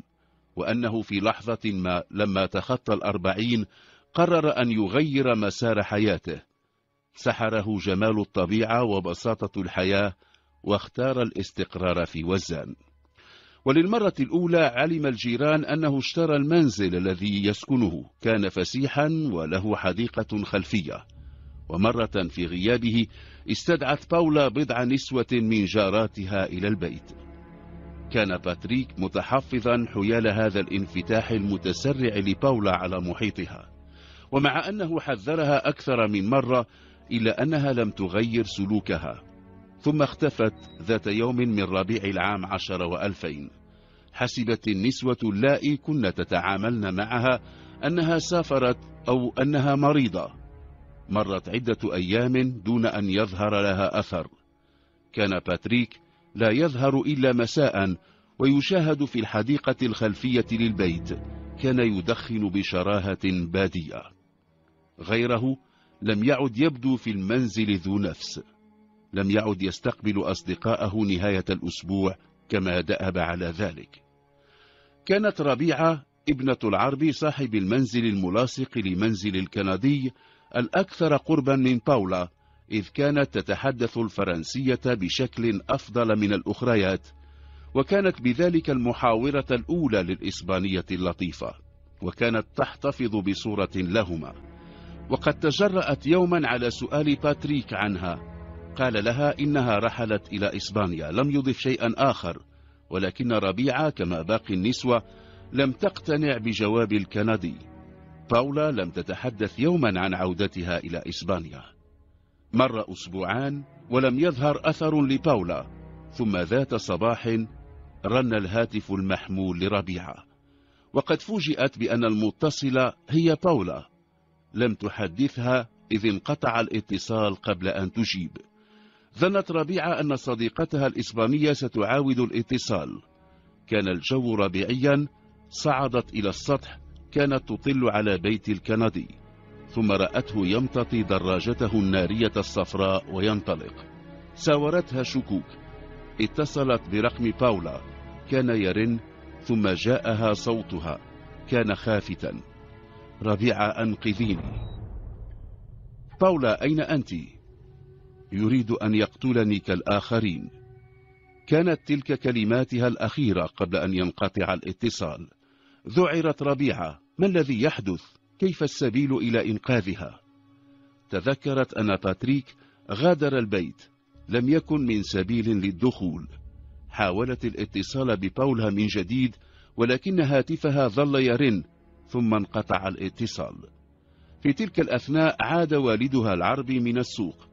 كان يعرف المرأة الإسبانية فقد صادفها عدة مرات في البيت مع ابنته وكان قد تحدث إليها ببعض من العبارات الإسبانية التي يعرفها. كان الحديث ينتهي ضاحكا. أبلغته ربيعة بأن باولا المختفية منذ عدة أيام اتصلت بها تطلب إنقاذها وأنها في خطر. وقد زاد من توتر الفتاة ذاك الهدوء الذي ظل يطبع ملامح والدها. ولما أنهت كلامها قال لها إنه ذاهب ليستطلع الأمر بنفسه. وقتها أبلغته بأن الكندي امتطى دراجته النارية وانطلق وأن المرأة في الداخل ويبدو أنها في حالة ضعف شديد.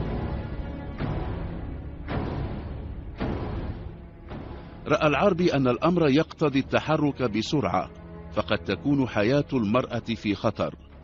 خرج وتوجه إلى مركز الشرطة القريب. أبلغ عن الأمر.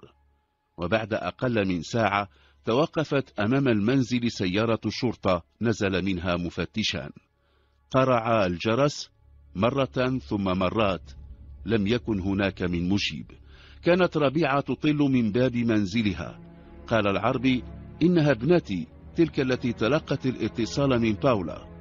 تقدم منها المفتش أبلغته بما تلقته من الإسبانية. قالت إنها تخشى أن يقتلها كالآخرين. أبلغ المفتش رئيسه بالموضوع وحيثياته. ثم جاء الأمر باقتحام المنزل. تسلق أحد المفتشين الجدار ولما وطئ الأرض من الجانب الآخر فتح الباب. طاف بالمنزل ولما كان بمحاذاة نافذة غرفة تطل على الحديقة الخلفية سمع ما يشبه الأنين. كان صوتا خافتا يأتي من عمق الغرفة. اقترب أحد المفتشين وأرهف السمع. كان أنينا.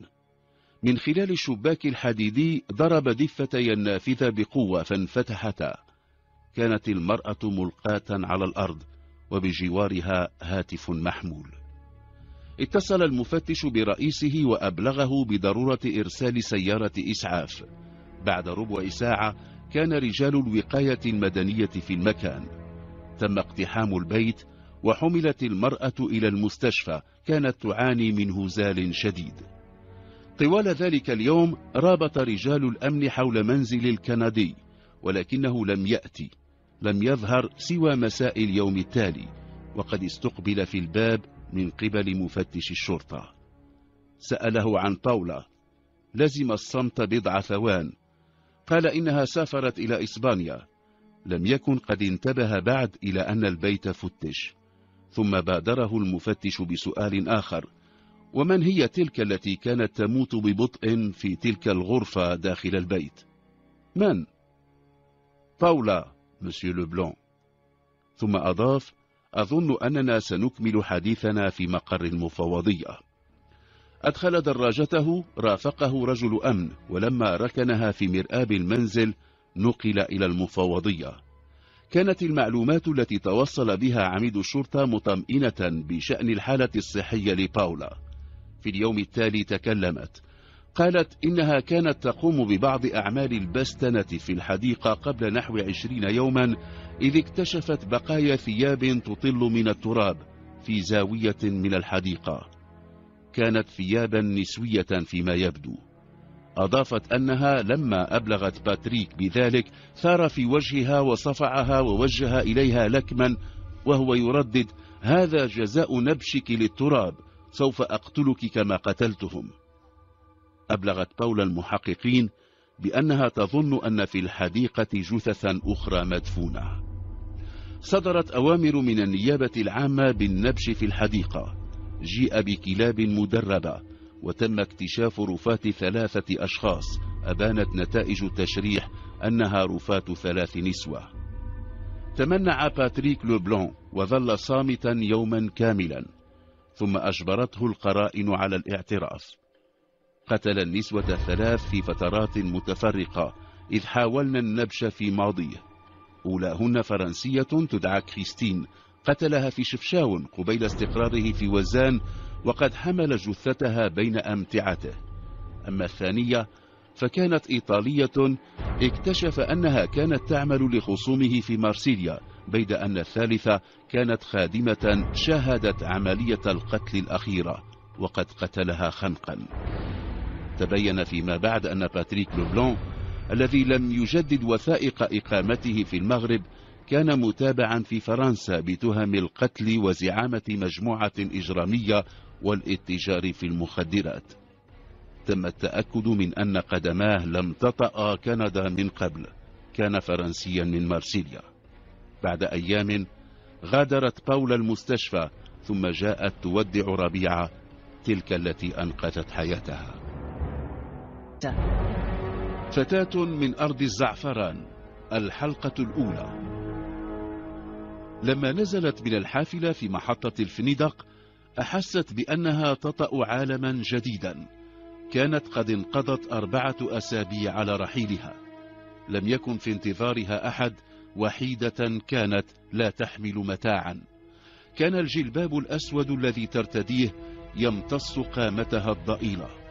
غادرت المحطة بخطى فيها الكثير من التردد مشت كمن يحاول شق طريقه في أرض ملغومة. نظرت في كل الاتجاهات. لم يكن أي من الوجوه التي تمر أمامها يعني لها شيئا. مشت في الشوارع القليلة للفنيدق. نحن في العام ثلاثة وثمانين تسعمائة وألف. أكثر من مرة وجدت نفسها في المحطة الطرقية أو قريبا منها. ثم حل المساء. بدأت الحركة تقل في الشوارع ثم تراجعت الحرارة كانت الريح الآتية من البحر باردة. لاحظ الحسن صاحب الدكان المقابل للمحطة أن تلك الفتاة ذات الجلباب الأسود تحوم حول المكان ظن أنها تائهة. مظهرها يوحي بأنها في الثانية عشرة. كان يجمع بضاعته استعدادا لإقفال دكانه. اقتربت منها. نظرت في واجهة الدكان قالت له أريد بسكويت. أشارت بأصبعها إلى نوع معين. أحس الحسن هو الذي شب وها هو شاب الآن في ذلك الدكان أن ما يهم الفتاة أن تفاتحه في موضوع يشغلها. ناولها علبة البسكويت التي أرادت ثم بادرها بالسؤال. من أين أنت يا فتاة؟ نظرت إليه بخجل وقالت من مدينة بعيدة من أين؟ من الجنوب كانت وجنتاها قد اتخذتا حمرة الورد هل لديك عائلة في الفنيدق؟ لا يا سيدي أنا جئت لوحدي أبحث عن عمل تبحثين عن عمل؟ وما الذي تتقنينه من أعمال؟ كل أشغال البيت نظر إليها لحسن بعين فاحصة. ألم تتعلمي؟ ذهبت إلى المدرسة ولما بلغت القسم الرابع انقطعت. أطرقت برأسها ثم أضافت كان علي أن أنتقل إلى مدرسة أخرى بعيدة عن قريتنا. كان الحسن شبه شارد. توقفت عيناه عند تلك الرسوم الصفراء التي تزين غطاء الرأس الأسود الذي تحمله الفتاة. لعله تذكر شيئا ما ثم فجأة عاد من شروده ذاك. وأين تسكنين؟ سكتت ولما لاحظ طول صمتها تطلع إلى وجهها كانت تبكي. دنا منها وتحاشى أن تلمسها يداه كانت له بنت في مثل سنها آلمه أن يراها تبكي. ثم لما هدأت قليلا قالت له يا سيدي لقد وصلت اليوم ولا عنوان لي. في نطقها ما يشي بأنها أمازيغية. في تلك الأثناء رفع آذان العشاء في مسجد في الجانب الآخر من الطريق. كان الحسن قد حسم قراره. سأخذك معي إلى المنزل. لدي بنت في مثل سنك. لم تتكلم الفتاة. لعل خجلها منعها من الكلام. هزت رأسها بالموافقة. قال لها الرجل انتظريني عند باب المسجد. بعد الصلاة سآخذك معي إلى البيت. ثم انطلق إلى المسجد تركها في الباب. كل الذين مروا من هناك تطلعوا إلى ملامحها. لم تكن تلك الوجوه تعني لها الكثير ولعلها لم تكن تعني لها شيئا. راجعت نفسها كانت تتساءل كيف وثقت بالبقال. صحيح أنه رجل يبدو عليه الوقار ولكن في النهاية استسلمت إلى خيار هذاك لم يكن أمامها من خيار سواه إما سقف يحميها البرد أو العراء وربما ذئاب بشرية. ثم شد سمعها الإمام وهو يقرأ سورة الشرح.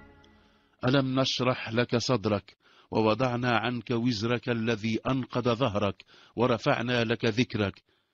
فإن مع العسر يسرا إن مع العسر يسرا. كانت تحفظها عن ظهر قلب.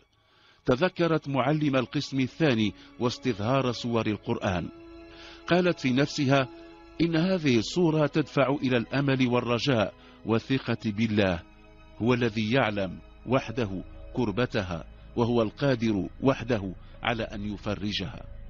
غمرتها لحظات روحانية ثم بدأ المصلون يخرجون من المسجد. كان الحسن في جملة آخر من خرجوا فقد دأب على أن لا يبرح المسجد إلا بعد أن يصلي ركعتي الشفع وركعة الوتر. كانت تراقبه وهو خارج ولما خطى بضع خطوات تحركت نحوه. تقبل الله صلاتك عم. الله يرضى عليك هيا بنا إلى البيت. أخيرا وجدت من يؤويها وللمرة الأولى وهما في الطريق سألها ما اسمك؟ فاطمة. مرحبا بك يا فاطمة. بعدها صمت الرجل. لم يكن منزله بعيدا. كان في أعلى تلة تشرف على الطريق إلى طنجة. لما بدأ الصعود في طريق متربة انطلق نباح كلب. قال لها لا تخافي اتبعيني. الكلب لن يقترب منك. في أعلى التلة في ضوء خافت من مصباح فوق الباب كانت تظهر امرأتان. لم تكن واضحة ملامحهما. تقدم الحسن ملقيا بسلام ولم ينتظر أن تسأله تلك التي بدت زوجته. بادرها بالقول هذه فاطمة ضيفتنا. مرحبا قالت المرأة ثم تقدمت نحوها وقبلتها أربعا قبلتين على كل خد. ثم تقدمت تلك التي بدت ابنته. قالت أمها هذه بنتي حفيظة. تقدمت إليها وكما فعلت أمها قبلتها أربعا هي الأخرى. ما أن تخطت الباب حتى أحست بدفء افتقدته منذ أيام. دفء المكان ودفء الإنسان. كانت المرأة واسمها عيشة وابنتها حفيظة تتكلمان بلهجة شمالية راقت فاطمة. رحبتا بها. لاحظت أنهما كما كان الحال في بيت أسرتها أعدتا الشاي. كان أول ما قدمتاه لها. ومعه خبز من قمح شهي وزبدة. كانت زوجة الحسن تلح على الفتاة في الأكل ثم بعد حين أحضر العشاء. كان طاجين سمك طهي على الفحم. بعد العشاء دعتها حفيظة إلى غرفتها قالت لها إنك ضيفتي في الغرفة فراشان. في الصباح لما استيقظت كان الحسن يجلس إلى مائدة الفطور مع زوجته. جاءت برفقة حفيظة. كان لها الاختيار بين الشاي والقهوة بالحليب وعلى المائدة صحون فيها زبدة ومربى وزيت زيتون. كان خبز القمح ساخنا. أكلت فاطمة دون أن تزيد عن الحاجة. ولقد خمن الحسن أن تكون تلقت تربية جيدة. نهض الرجل. كانت الساعة تقترب من التاسعة صباحا. نظرت إليه. كان في عينها سؤال التقطه الحسن قال لها ستبقين هنا في البيت إلى أن يجعل الله لك مخرجا. قالها ثم مضى. كانت زوجته قد علمت منه في الليلة الماضية أن فاطمة فتاة جاءت إلى الفنيدق تبحث عن عمل لتساعد أسرتها وقد تحاشت عيشة أن ترهقها بالأسئلة. فاطمة التي كانت عيناها تنضحان فطنة سعت هي الأخرى إلى إشباع بعض فضول حفيظة. قالت لها إنها بنت أسرة قروية من الجنوب وإنها قررت الهجرة إلى الشمال والبحث عن عمل في البيوت لمساعدة أسرتها. حرصت على أن لا يحيد كلامها على ما قالته للحسن بالأمس. أمضت يومها تساعد عيشة وابنتها في أشغال البيت وإعداد طعام الغذاء. لاحظت أن الحسن لم يأتي. خمنت أنه بقي في دكانه. كان اليوم يوم خميس. ثم جاء في المساء بعد صلاة العشاء. قال لها إنه وجد لها أسرة تشتغل عندها ولكن في المضيق تبسمت ولم تتكلم. للقصة بقية ترقبوها غدا. فتاة من أرض الزعفران الحلقة الثانية والأخيرة. أمضت فاطمة ليلتها تلك تبحث عن ملامح لأفراد تلك الأسرة التي ستشتغل عندها في المضيق. كان تفكيرها كل تفكيرها يتركز على النساء اللواتي ستتعامل معهن. لم تكن تولي كبير اهتمام للرجال إذ عادة ما يترك شأن الخادمات للنساء. كانت حفيظة بنت العم لحسن قد أغرقت في النوم. وكان الظلام الكثيف الذي عم الغرفة يمحو من أمام أفكارها كل الحواجز والممنوعات. أعادت شريط خروجها من القرية. تذكرت أمها. إنها تراها كما لو هي في حضنها. تذكرت أباها وتقاطيب وجهه. واستحضرت صورة إبراهيم شقيقها. كان الأقرب إليها بين أفراد أسرتها. المسافة بعيدة بينهم الآن. في الخارج كانت الريح المقبلة من الساحل تلف حول شجرة التين ثم تمضي بعد أن تزغرد لها الأغصان. نامت فاطمة. استيقظ الحسن باكرا. اغتسل وصلى الفجر والصبح. مضت عيشة زوجته إلى إعداد الفطور. رغائف دقيق القمح الخالص. تعلم أن الحسن يعشق أكلها مع العسل والشاي الأخضر بالنعناع. تعودت عيشة على انشراح محياه لما تقبل بها عليه. نهضت فاطمة من فراشها كان ضوء النهار قد بدد ظلام الليل. سمعت صوت الحسن وهو يحادث زوجته. كانت حفيظة قد استيقظت قبلها. اليوم يوم جمعة. هو يوم العطلة الأسبوعية للحسن. سيظل دكانه مقفلا. لما أقبلت عليهم وجدته قد ارتدى جلبابه الأبيض قال لها مبتسما بلهجته الشمالية أسرعي يا فاطمة تناولي فطورك كي نذهب إلى المضيق. سأصلي الجمعة هناك إن شاء الله. احمرت وجنتاها خجلا كما يحدث للصبايا في مثل عمرها. جلست إلى جانب حفيظة. لما نهض الحسن بدا لها بجلابته البيضاء رجلا آخر غير الذي رأته في الدكان قرب المحطة. قال لها سأنتظرك عند الباب. تناولت فطورها بسرعة ثم وقفت. كانت ترتدي جلابتها السوداء كما وصلت. لم تكن لديها ملابس أخرى. عانقت عيشة وحفيظة وشكرت لهما حسن ضيافتهما. قالت لن أنساكما. نزلت من عينيها دمعتان. نظرت إلى حفيظة فإذا هي تبكي. كانت أمها تمسح دمعة لم تقاومها. مشت خلف الحسن حتى وصل المحطة. ركب سيارة أجرة مع أناس آخرين. عمت رائحة العطر الذي وضعه العم لحسن السيارة بينما كان يأتي من الراديو كاسيت ترتيل ممتع للقرآن. الركاب ينصتون في صمت. طوال الرحلة إلى المضيق ظلت مبهورة بتلك المناظر الجميلة التي تمر بها الطريق. تارة يقترب البحر وأخرى يتوارى وراء كثبان من رمل زينتها أعشاب متناثرة. لما نزل تبعته كان يسرع الخطى وقد راعها أنه يقصد مركزا للدرك الملكي. خافت هل يريد تسليمها إلى الدرك؟ هل كانت استضافته لها في بيته حيلة؟ هل يعلم من تكون ومن أين جاءت؟ دوامة من الأسئلة. في لحظة من تلك اللحظات الحرجة فكرت في الهروب. الهروب إلى أين؟ كان يصدر من أعماقها صوت غريب خالت أن الحسن سمعه. صرفت فكرها عن الهروب. فرجل بمثل طيبوبة العم لحسن لا يمكن أن يريد بها شرا. تقدم إلى باب مركز الدرك. كانت خلفه مباشرة. في الباب دركي ألقى الحسن بالسلام ورد الدركي بتحية عسكرية. أريد مقابلة لاجودون رادي الحسين الرادي. تفضل إنه في المكتب الثاني على اليمين. دخل الحسن تبعته الفتاة مشدوها فهي لم تدخل قط مقرا للدرك. في قريتها كان لا يقصد مقر الدرك إلا من لديهم نزاعات حول الأرض أو أشياء أخرى. تقدم الحسن إلى الباب الثاني على اليمين كان مفتوحا. في مكتب توسط القاعة جلس ضابط بلباسه الأنيق. كان يطالع أوراقا على المكتب ولما أحس بهما رفع بصره. أهلا لحسن مرحبا. نهض من مكتبه وصافحه بحرارة. أيقنت فاطمة أنهما يتعارفان منذ مدة. نظر إليها وقال أهذه هي؟ نعم سي الحسين. مرحبا بك يا ابنتي. فاجأها بكلمات الترحيب.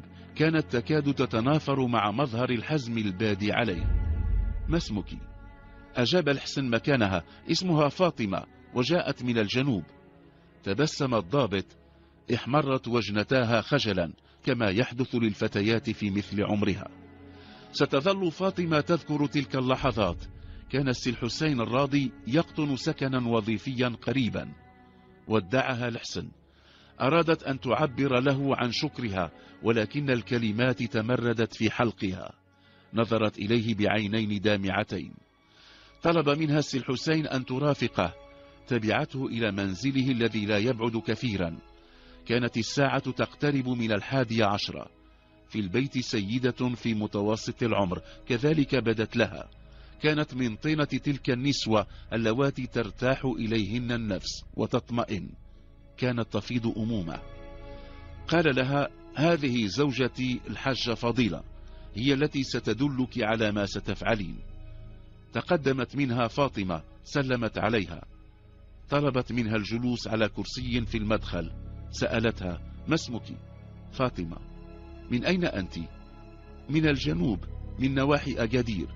وكأنها توقعت منها أسئلة أخرى بادرت إلى القول لقد جئت إلى الشمال أبحث عن عمل حتى أساعد عائلتي. كانت الحاجة فضيلة تهيئ الكسكس وبتلقائية رافقتها فاطمة إلى المطبخ. أنت من سوس إذن. نعم الحاجة. مرحبا بك يا ابنتي. في المساء تعرفت فاطمة على باقي أفراد الأسرة. كانوا ثلاث بنات وولدان. كانت فاطمة قليلة الكلام. وقد لاحظت الحاجة فضيلة أنها تتعامل بسلاسة مع أشغال البيت وتلقائية لم تعهدها في خادمات سابقات. كانت تبدو وكأنها ترعرعت وسط عائلة غير ذات فاقة. شكت الحاجة في أمر بحثها عن عمل لمساعدة أسرتها ولكنها سرعان ما تراجعت. هي تعلم أن أغنياء كثيرين انقلب عليهم الزمن وصاروا في عداد الفقراء. في أوقات فراغها كانت تطيل النظر إلى الشارع كمن ينتظر قادما. مرت سنة على رحيلها عن القرية. كانت في بيت الحاج الحسين الذي ينحدر من عائلة معروفة في المغرب الشرقي تحس بالأمان. وذات مرة طلبت من الحاجة أن تمكنها من الاتصال برقم هاتفي كانت تحتفظ به في ورقة. استغربت الحاجة الأمر ولكنها لم ترد طلبها. ركبت الرقم الهاتفي ولما بدا لها أن الاتصال قد نجح ناولتها السماعة. كانت تتحدث باللهجة السوسية وكانت الحاجة تفهم بضع كلمات. بعد حين رأتها تبكي. لم ترد أن تتدخل. ولما أنهت مكالمتها سألتها الحاجة. ماذا يبكيك يا فاطمة؟ أمي, أمي ماتت. لا إله إلا الله احتضنتها الحاجة. ستعلم منها لاحقا أنها من إمن تانوت. قالت إنها ستعود إلى قريتها. مساء ذلك اليوم أفضت بسرها كاملا.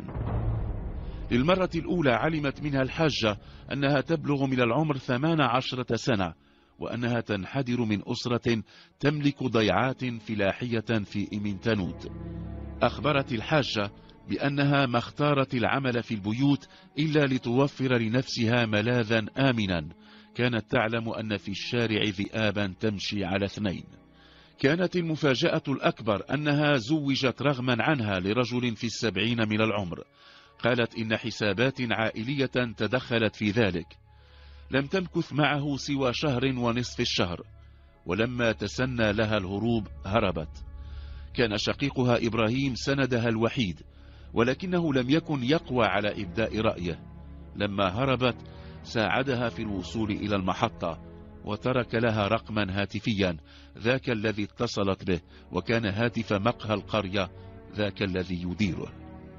في الغد سلمتها الحاجة مالا كان أجرتها أضافت إليه مبلغا آخر.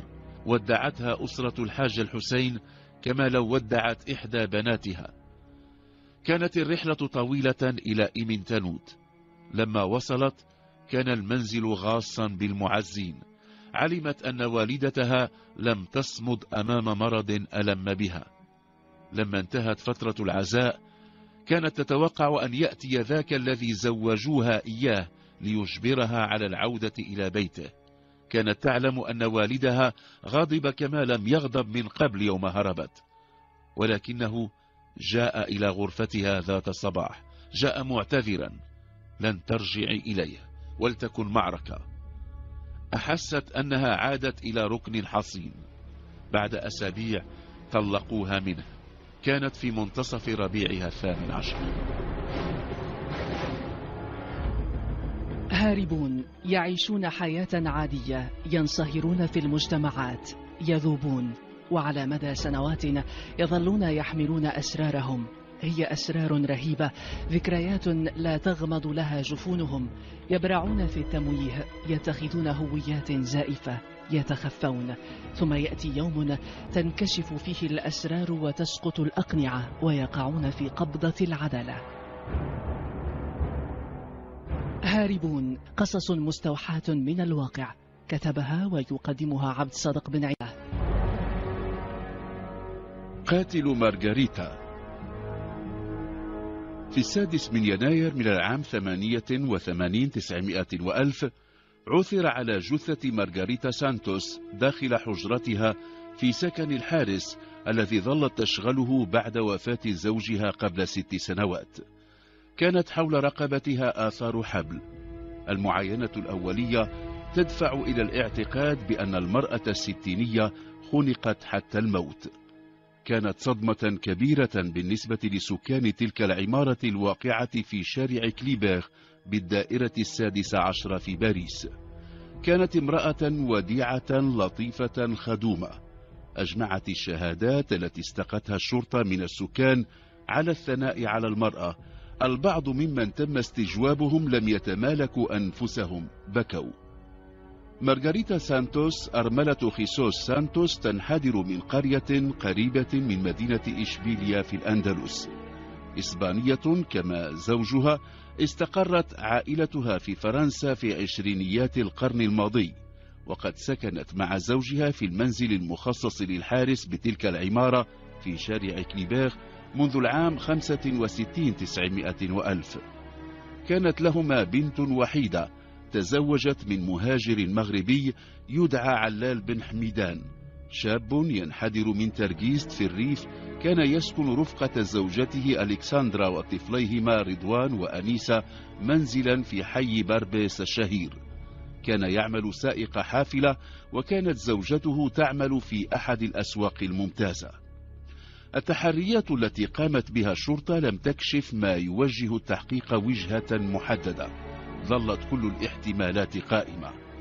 كان والد ألكسندرا قد توفي إثر نوبة قلبية في الحسيمة حيث كان يمضي عطلة صيف العام 82 رفقة زوجته وابنته وصهره علال. نقل جثمانه إلى باريس حيث دفن. حظي الموضوع باهتمام كبير لوسائل الإعلام المحلية. صورة مارغاريتا المرأة الطيبة وهي تبتسم ونظرتها الهادئة من خلف نظارتيها البيضاويتي الشكل أذكت أكثر الفضول والاهتمام.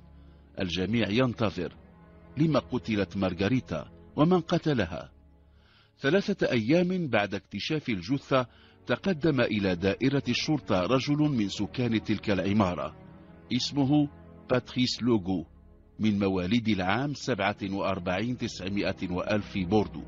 قال إنه يعيش وحيدا ويعمل في إحدى المؤسسات البنكية. قال باتريس لمفتش الشرطة الذي استقبله إنه رأى الذي قتل المدام مارغريتا سانتوس. وقف الشرطي. ما الذي تقول؟ نعم سيدي لقد رأيته يخرج مسرعا من منزل الحارس. كان في يده كيس يحمل علامة أحد المنتوجات الكحولية. هل تذكر الساعة؟ في حدود الثامنة والنصف مساء. كان الشرطي يسجل ما يقوله باتريس ودون أن ينظر إليه سأله. كيف عرفت أنه المجرم؟ خرج من بيت حارس العمارة. كان يبدو مضطربا. ولما رآني رسم على حنجرته بسبابته إشارة تفيد التهديد بالذبح. لقد خفت يا سيدي. أسرعت إلى المصعد. قبل أن تنغلق بابه رأيته ينظر إلي. هل تستطيع سيد باتريس أن تصفه لي؟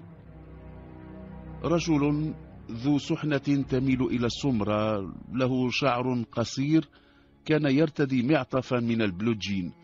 له شاربان ويبدو وكأنه لم يحلق ذقنه منذ يومين أو ثلاثة متوسط القامة. سجل الشرطي ما قاله باتريس. أعطاه رقما هاتفيا وطلب منه أن يبلغ عن الرجل حيثما رآه. على مدى الأسبوع الذي تلا لم يجد جديد. كل الفرضيات قائمة.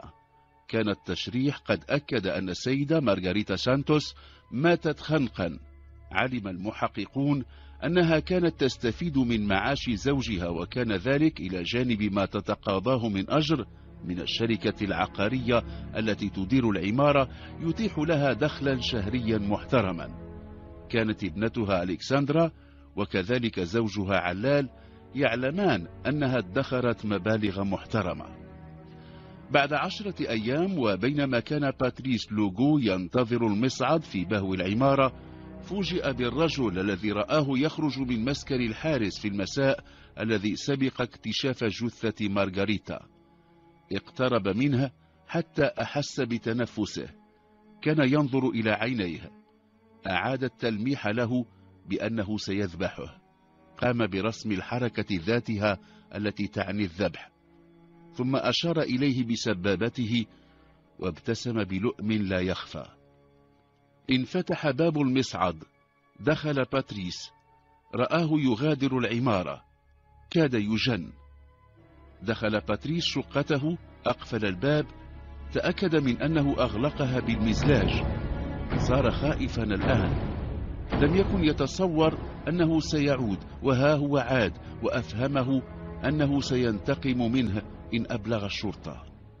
كان يبدو مصمما ولا يخامر باتريس الآن أدنى شك في أن الرجل سيقتله إن علم أنه أبلغ الشرطة. ماذا عليه أن يفعل الآن؟ أخذ الهاتف وكون الرقم الذي أعطاه إياه الشرطي. شرطة الدائرة السادسة عشرة. مساء الخير سيدي أنا باتريس لوغو. هل أستطيع الحديث إلى العميد؟ نعم سيد لوغو معك العميد فابيان. نعم أتصل في شأن جريمة شارع كليبير. لقد حضر ذلك الشخص وهددني ثم ذهب. حدث ذلك قبل نحو نصف ساعة. أخذنا علما سيد باتريس وسنقوم بما يتطلبه الأمر. شكرا سيدي. بضع ثوان بعد أن أنهى المكالمة. رن هاتفه. ألو؟ هل تظن أنني أبلة؟ لقد جنيت على نفسك. من أنت؟ لم يرد عليه وانقطعت المكالمة. تزايدت مخاوف باتريس. صار يحس الآن أن الذي يلاحقه يستطيع أن يصل إليه في كل مرة.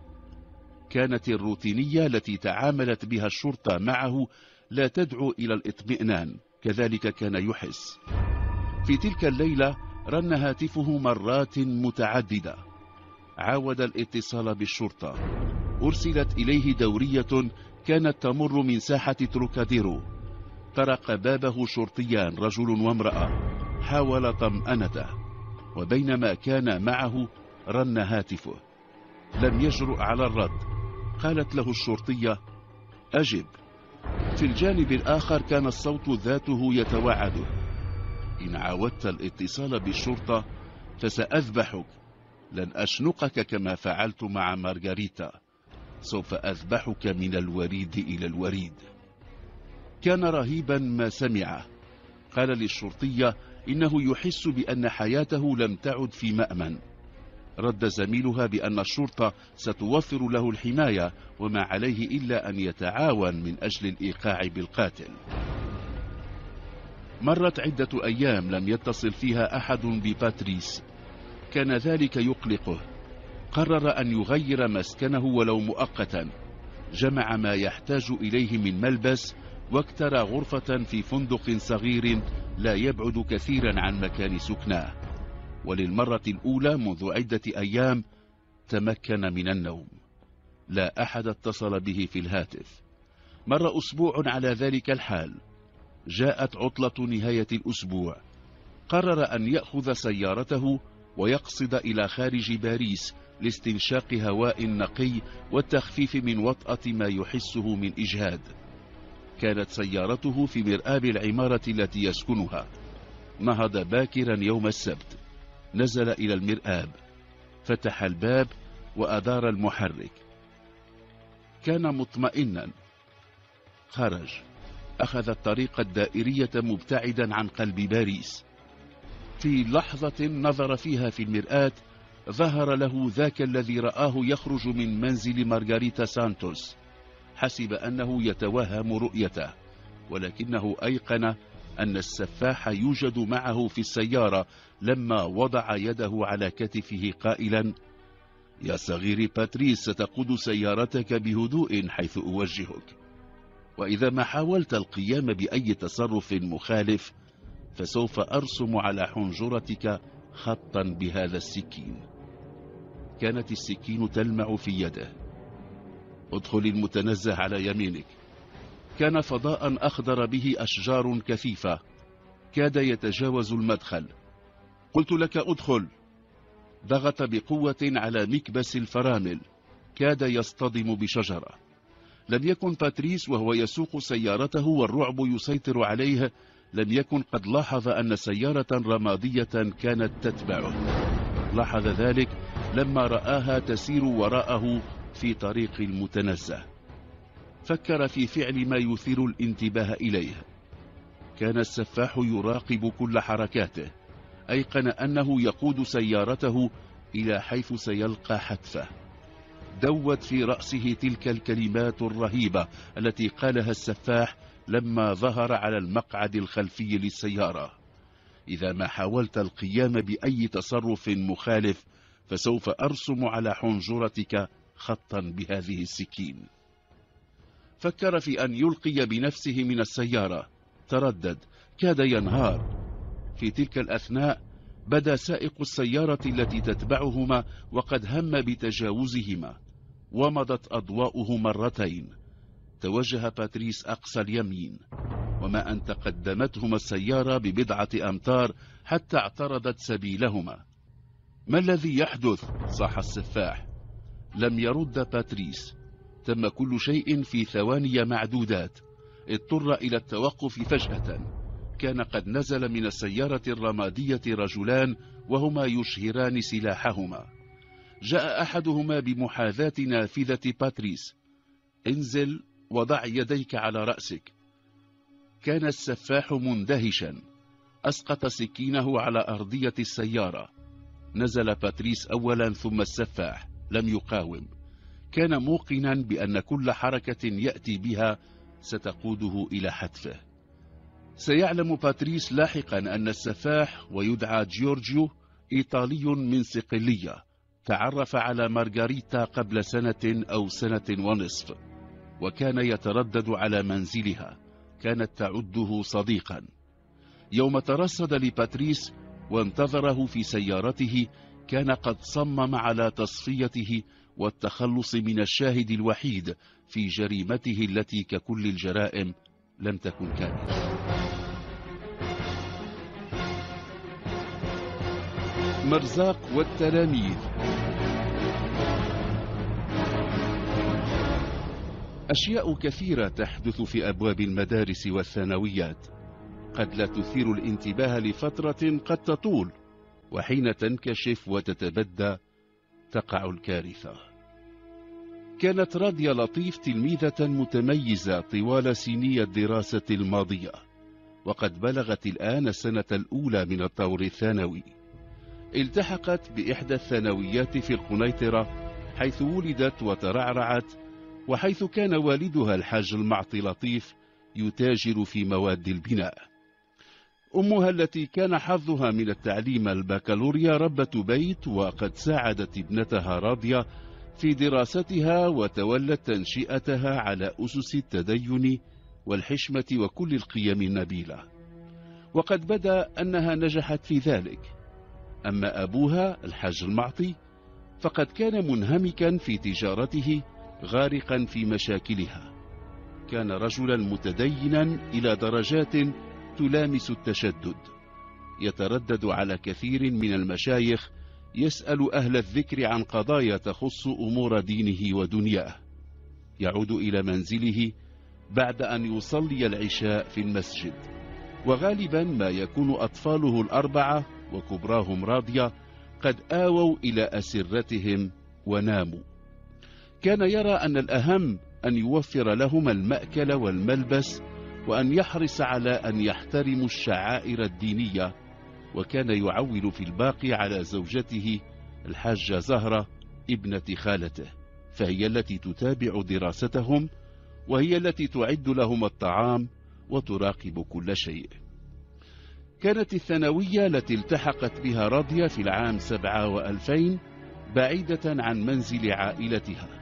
في مرحلة أولى كان والدها يضطر إلى اصطحابها في سيارته والحضور لإعادتها إلى البيت في منتصف النهار وفي المساء. وكثيرا ما كان يتأخر وكثيرا ما كانت تظل تنتظره في باب الثانوية. أحيانا يمضي كل التلاميذ وتبقى هي في انتظاره. كان يحدث ذلك حين يصادف موعد خروجها من الثانوية موعد صلاة المغرب. كان الحاج المعطي حريصا على أداء الصلاة في أوقاتها وفي المسجد. بالنسبة إليه أن تنتظر راضية عشر دقائق أو ربع ساعة بعد خروجها من الثانوية لن يسبب أي ضرر. كان الرجل موقنا بأن ابنته تلقت تربية تقيها كل زيغ أو انحراف كذلك كان يظن.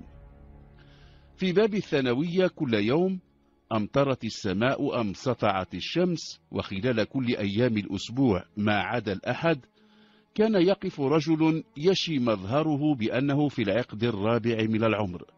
كانت له عربة اتخذها من عربة أطفال قديمة حيث كان المهد وضع صندوقا يفتح غطاءه ويضع فيه في صفوف متراصة بعض علب البسكويت والحلويات.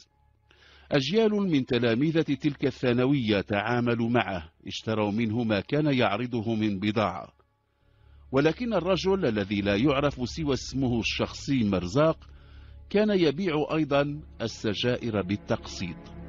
وكثير من التلاميذ والتلميذات كانوا يشترون منه بضع سجائر كل يوم وكان هو من يسر لكثير منهم سبيل الإدمان.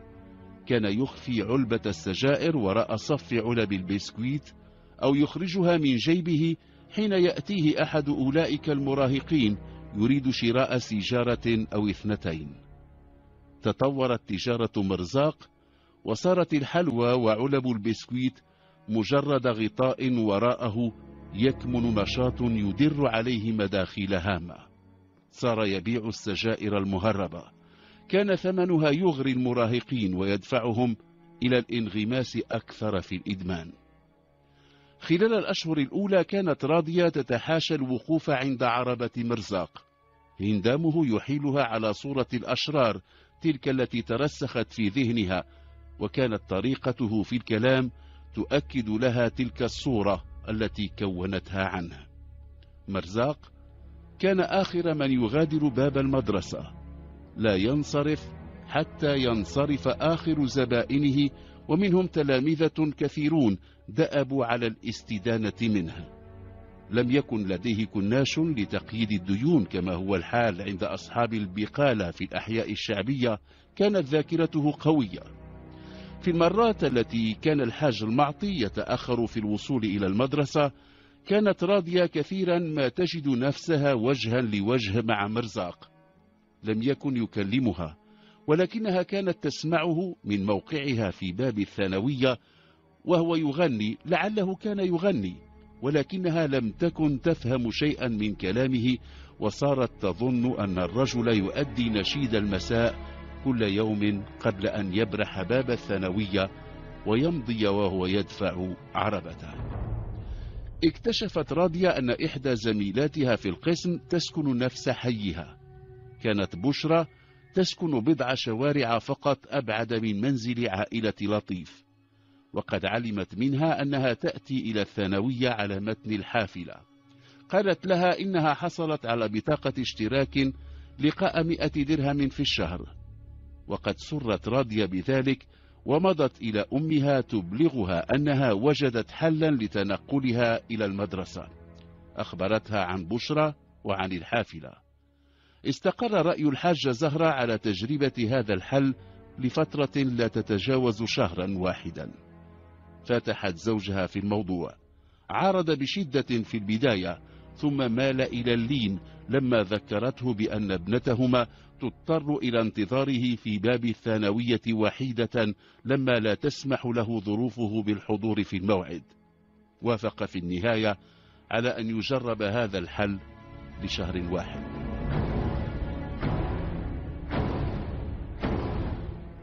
كانت راضية في السادسة عشرة وقد بدأت تبدي منذ فترة محاولات للاعتراض على نمط الحياة السائد في البيت. كانت والدتها وهي الأقرب إليها تحاول التغاضي عن أمور ولكنها لم تكن تبدي أي لين فيما يتعلق بالملبس والشعائر الدينية. وقد وجدت راضية نفسها تتجاذبها إيقاعات الأوقات التي تمضيها في الثانوية وما يملى عليها من سلوك في البيت.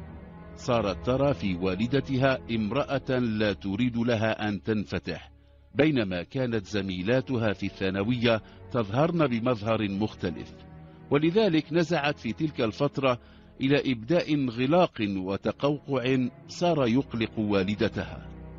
تراجعت نتائجها الدراسية وصارت تتمرد على أسرتها. ذات مرة قالت إنها ترفض ارتداء غطاء الرأس. ولما بلغ والدها ذلك زجرها ولما حاولت أن تبدي رأيها صفعها. بكت في صمت. ظلت تبكي إلى أن نامت. ما لم تكن تعرفه الحاجة زهرة ولا الحاج المعطي لطيف أن راضية صارت تحكي لصديقتها الجديدة بشرى عن كل ما يحدث لها مع أسرتها. وكانت بشرى تحرص على مواساتها ثم بالتدريج صارت تأتي لها بالأجوبة. كانت راضية ترى أن ما تقوله صديقتها غالبا ما يستجيب لما كانت تتوق إليه ثم تطورت الأمور. وعرضت عليها صديقتها حلا سحريا أن تبدي لهم في البيت ما يودون رؤيتها عليه وأن تمضي فيما تريده حين تكون بعيدة عن أنظارهم. تعلم راضية أن صديقتها تحب زميلا لهما في القسم. كانت من حين لآخر تمضي معه بعض الوقت بعيدا عن الثانوية في مقهى وسط المدينة وكانت تحكي لها عن مغامراتها. صار الحاج المعطي نادرا ما يلتقي ابنته الكبرى. التغيير الذي طرأ على جسمها كان يبعث إليه برسائل صارت تؤرقه الآن. قيل له زوجها واسترح. قيل له كفاها تعليما وقيل له وقيل له. ولقد هم بفصلها عن الدراسة ولكن والدتها عارضت بشدة. لاحظ الحاج المعطي هو الغارق في أعماله أن راضية تذهب إلى الثانوية كل يوم من الثامنة صباحا إلى الثانية عشر زوالا ومن الثانية بعد الزوال إلى السادسة مساء. أثارت انتباهه رتابة التوقيت وانتظام ساعات الدراسة على ذلك المنوال من الاثنين إلى السبت. ظلت نتائجها الدراسية في تراجع. وقد تذكر المعطي أنه لما كان تلميذا في الثانوي لم يكن البرنامج الزمني بتلك الرتابة. لاحظت الحاجة زهرة أن طباع أبنتها تبدلت وأنها صارت تبدو وكأنها تعاني من مرض ما. حاولت أن تعرف منها أسباب انزوائها ولكن محاولاتها لم تثمر. قرر الحاج المعطي أن يفرض عليها مراقبة. ذهب ذات صباح من شهر أبريل إلى الثانوية وطلب البرنامج الزمني للقسم الذي تدرس به ابنته. لاحظ أنه لا يتضمن أي حصص للدراسة مساء الأربعاء ويوم السبت كما أن ساعات الخروج والدخول تختلف من يوم لآخر. انتظر مساء الأربعاء. اكترى سيارة حتى لا ينكشف أمره ووضع نظارتين كبيرتين وتبعها. توجهت إلى الثانوية ولكنها لم تدخل. قابلت مجموعة من التلاميذ. كانت معها بشرى تحلقوا حول عربة مرزاق. رأى أن البعض منهم اشتروا سجائر. أحدهم لم يتردد في إشعالها في باب الثانوية ثم تحركت المجموعة وفيها ابنته راضية. توجهوا إلى أرض خلا تقع في الجزء الخلفي من الثانوية. نزل واقتفى أثرهم تحت شجرة هناك رآهم يجلسون.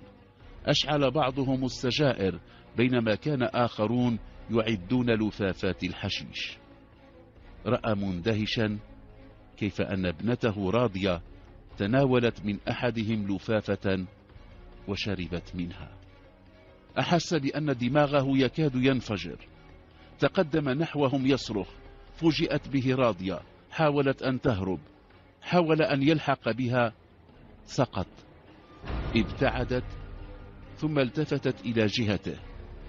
كان ملقا على الأرض. عادت إليه. كانت تبكي. ثم أصابتها نوبة هيستيريا. جلست إلى جانبه وصارت تصرخ. دعني أمضي. البنوة ليست خبزا وملبسا وأوامر. دعني أمضي. كانت تضرب بكفيها على الأرض. لم يكن يجيب. خرج مسؤولون في المدرسة يستطلعون الأمر. اكتشفوا مشهد الحاج المعطي وابنته.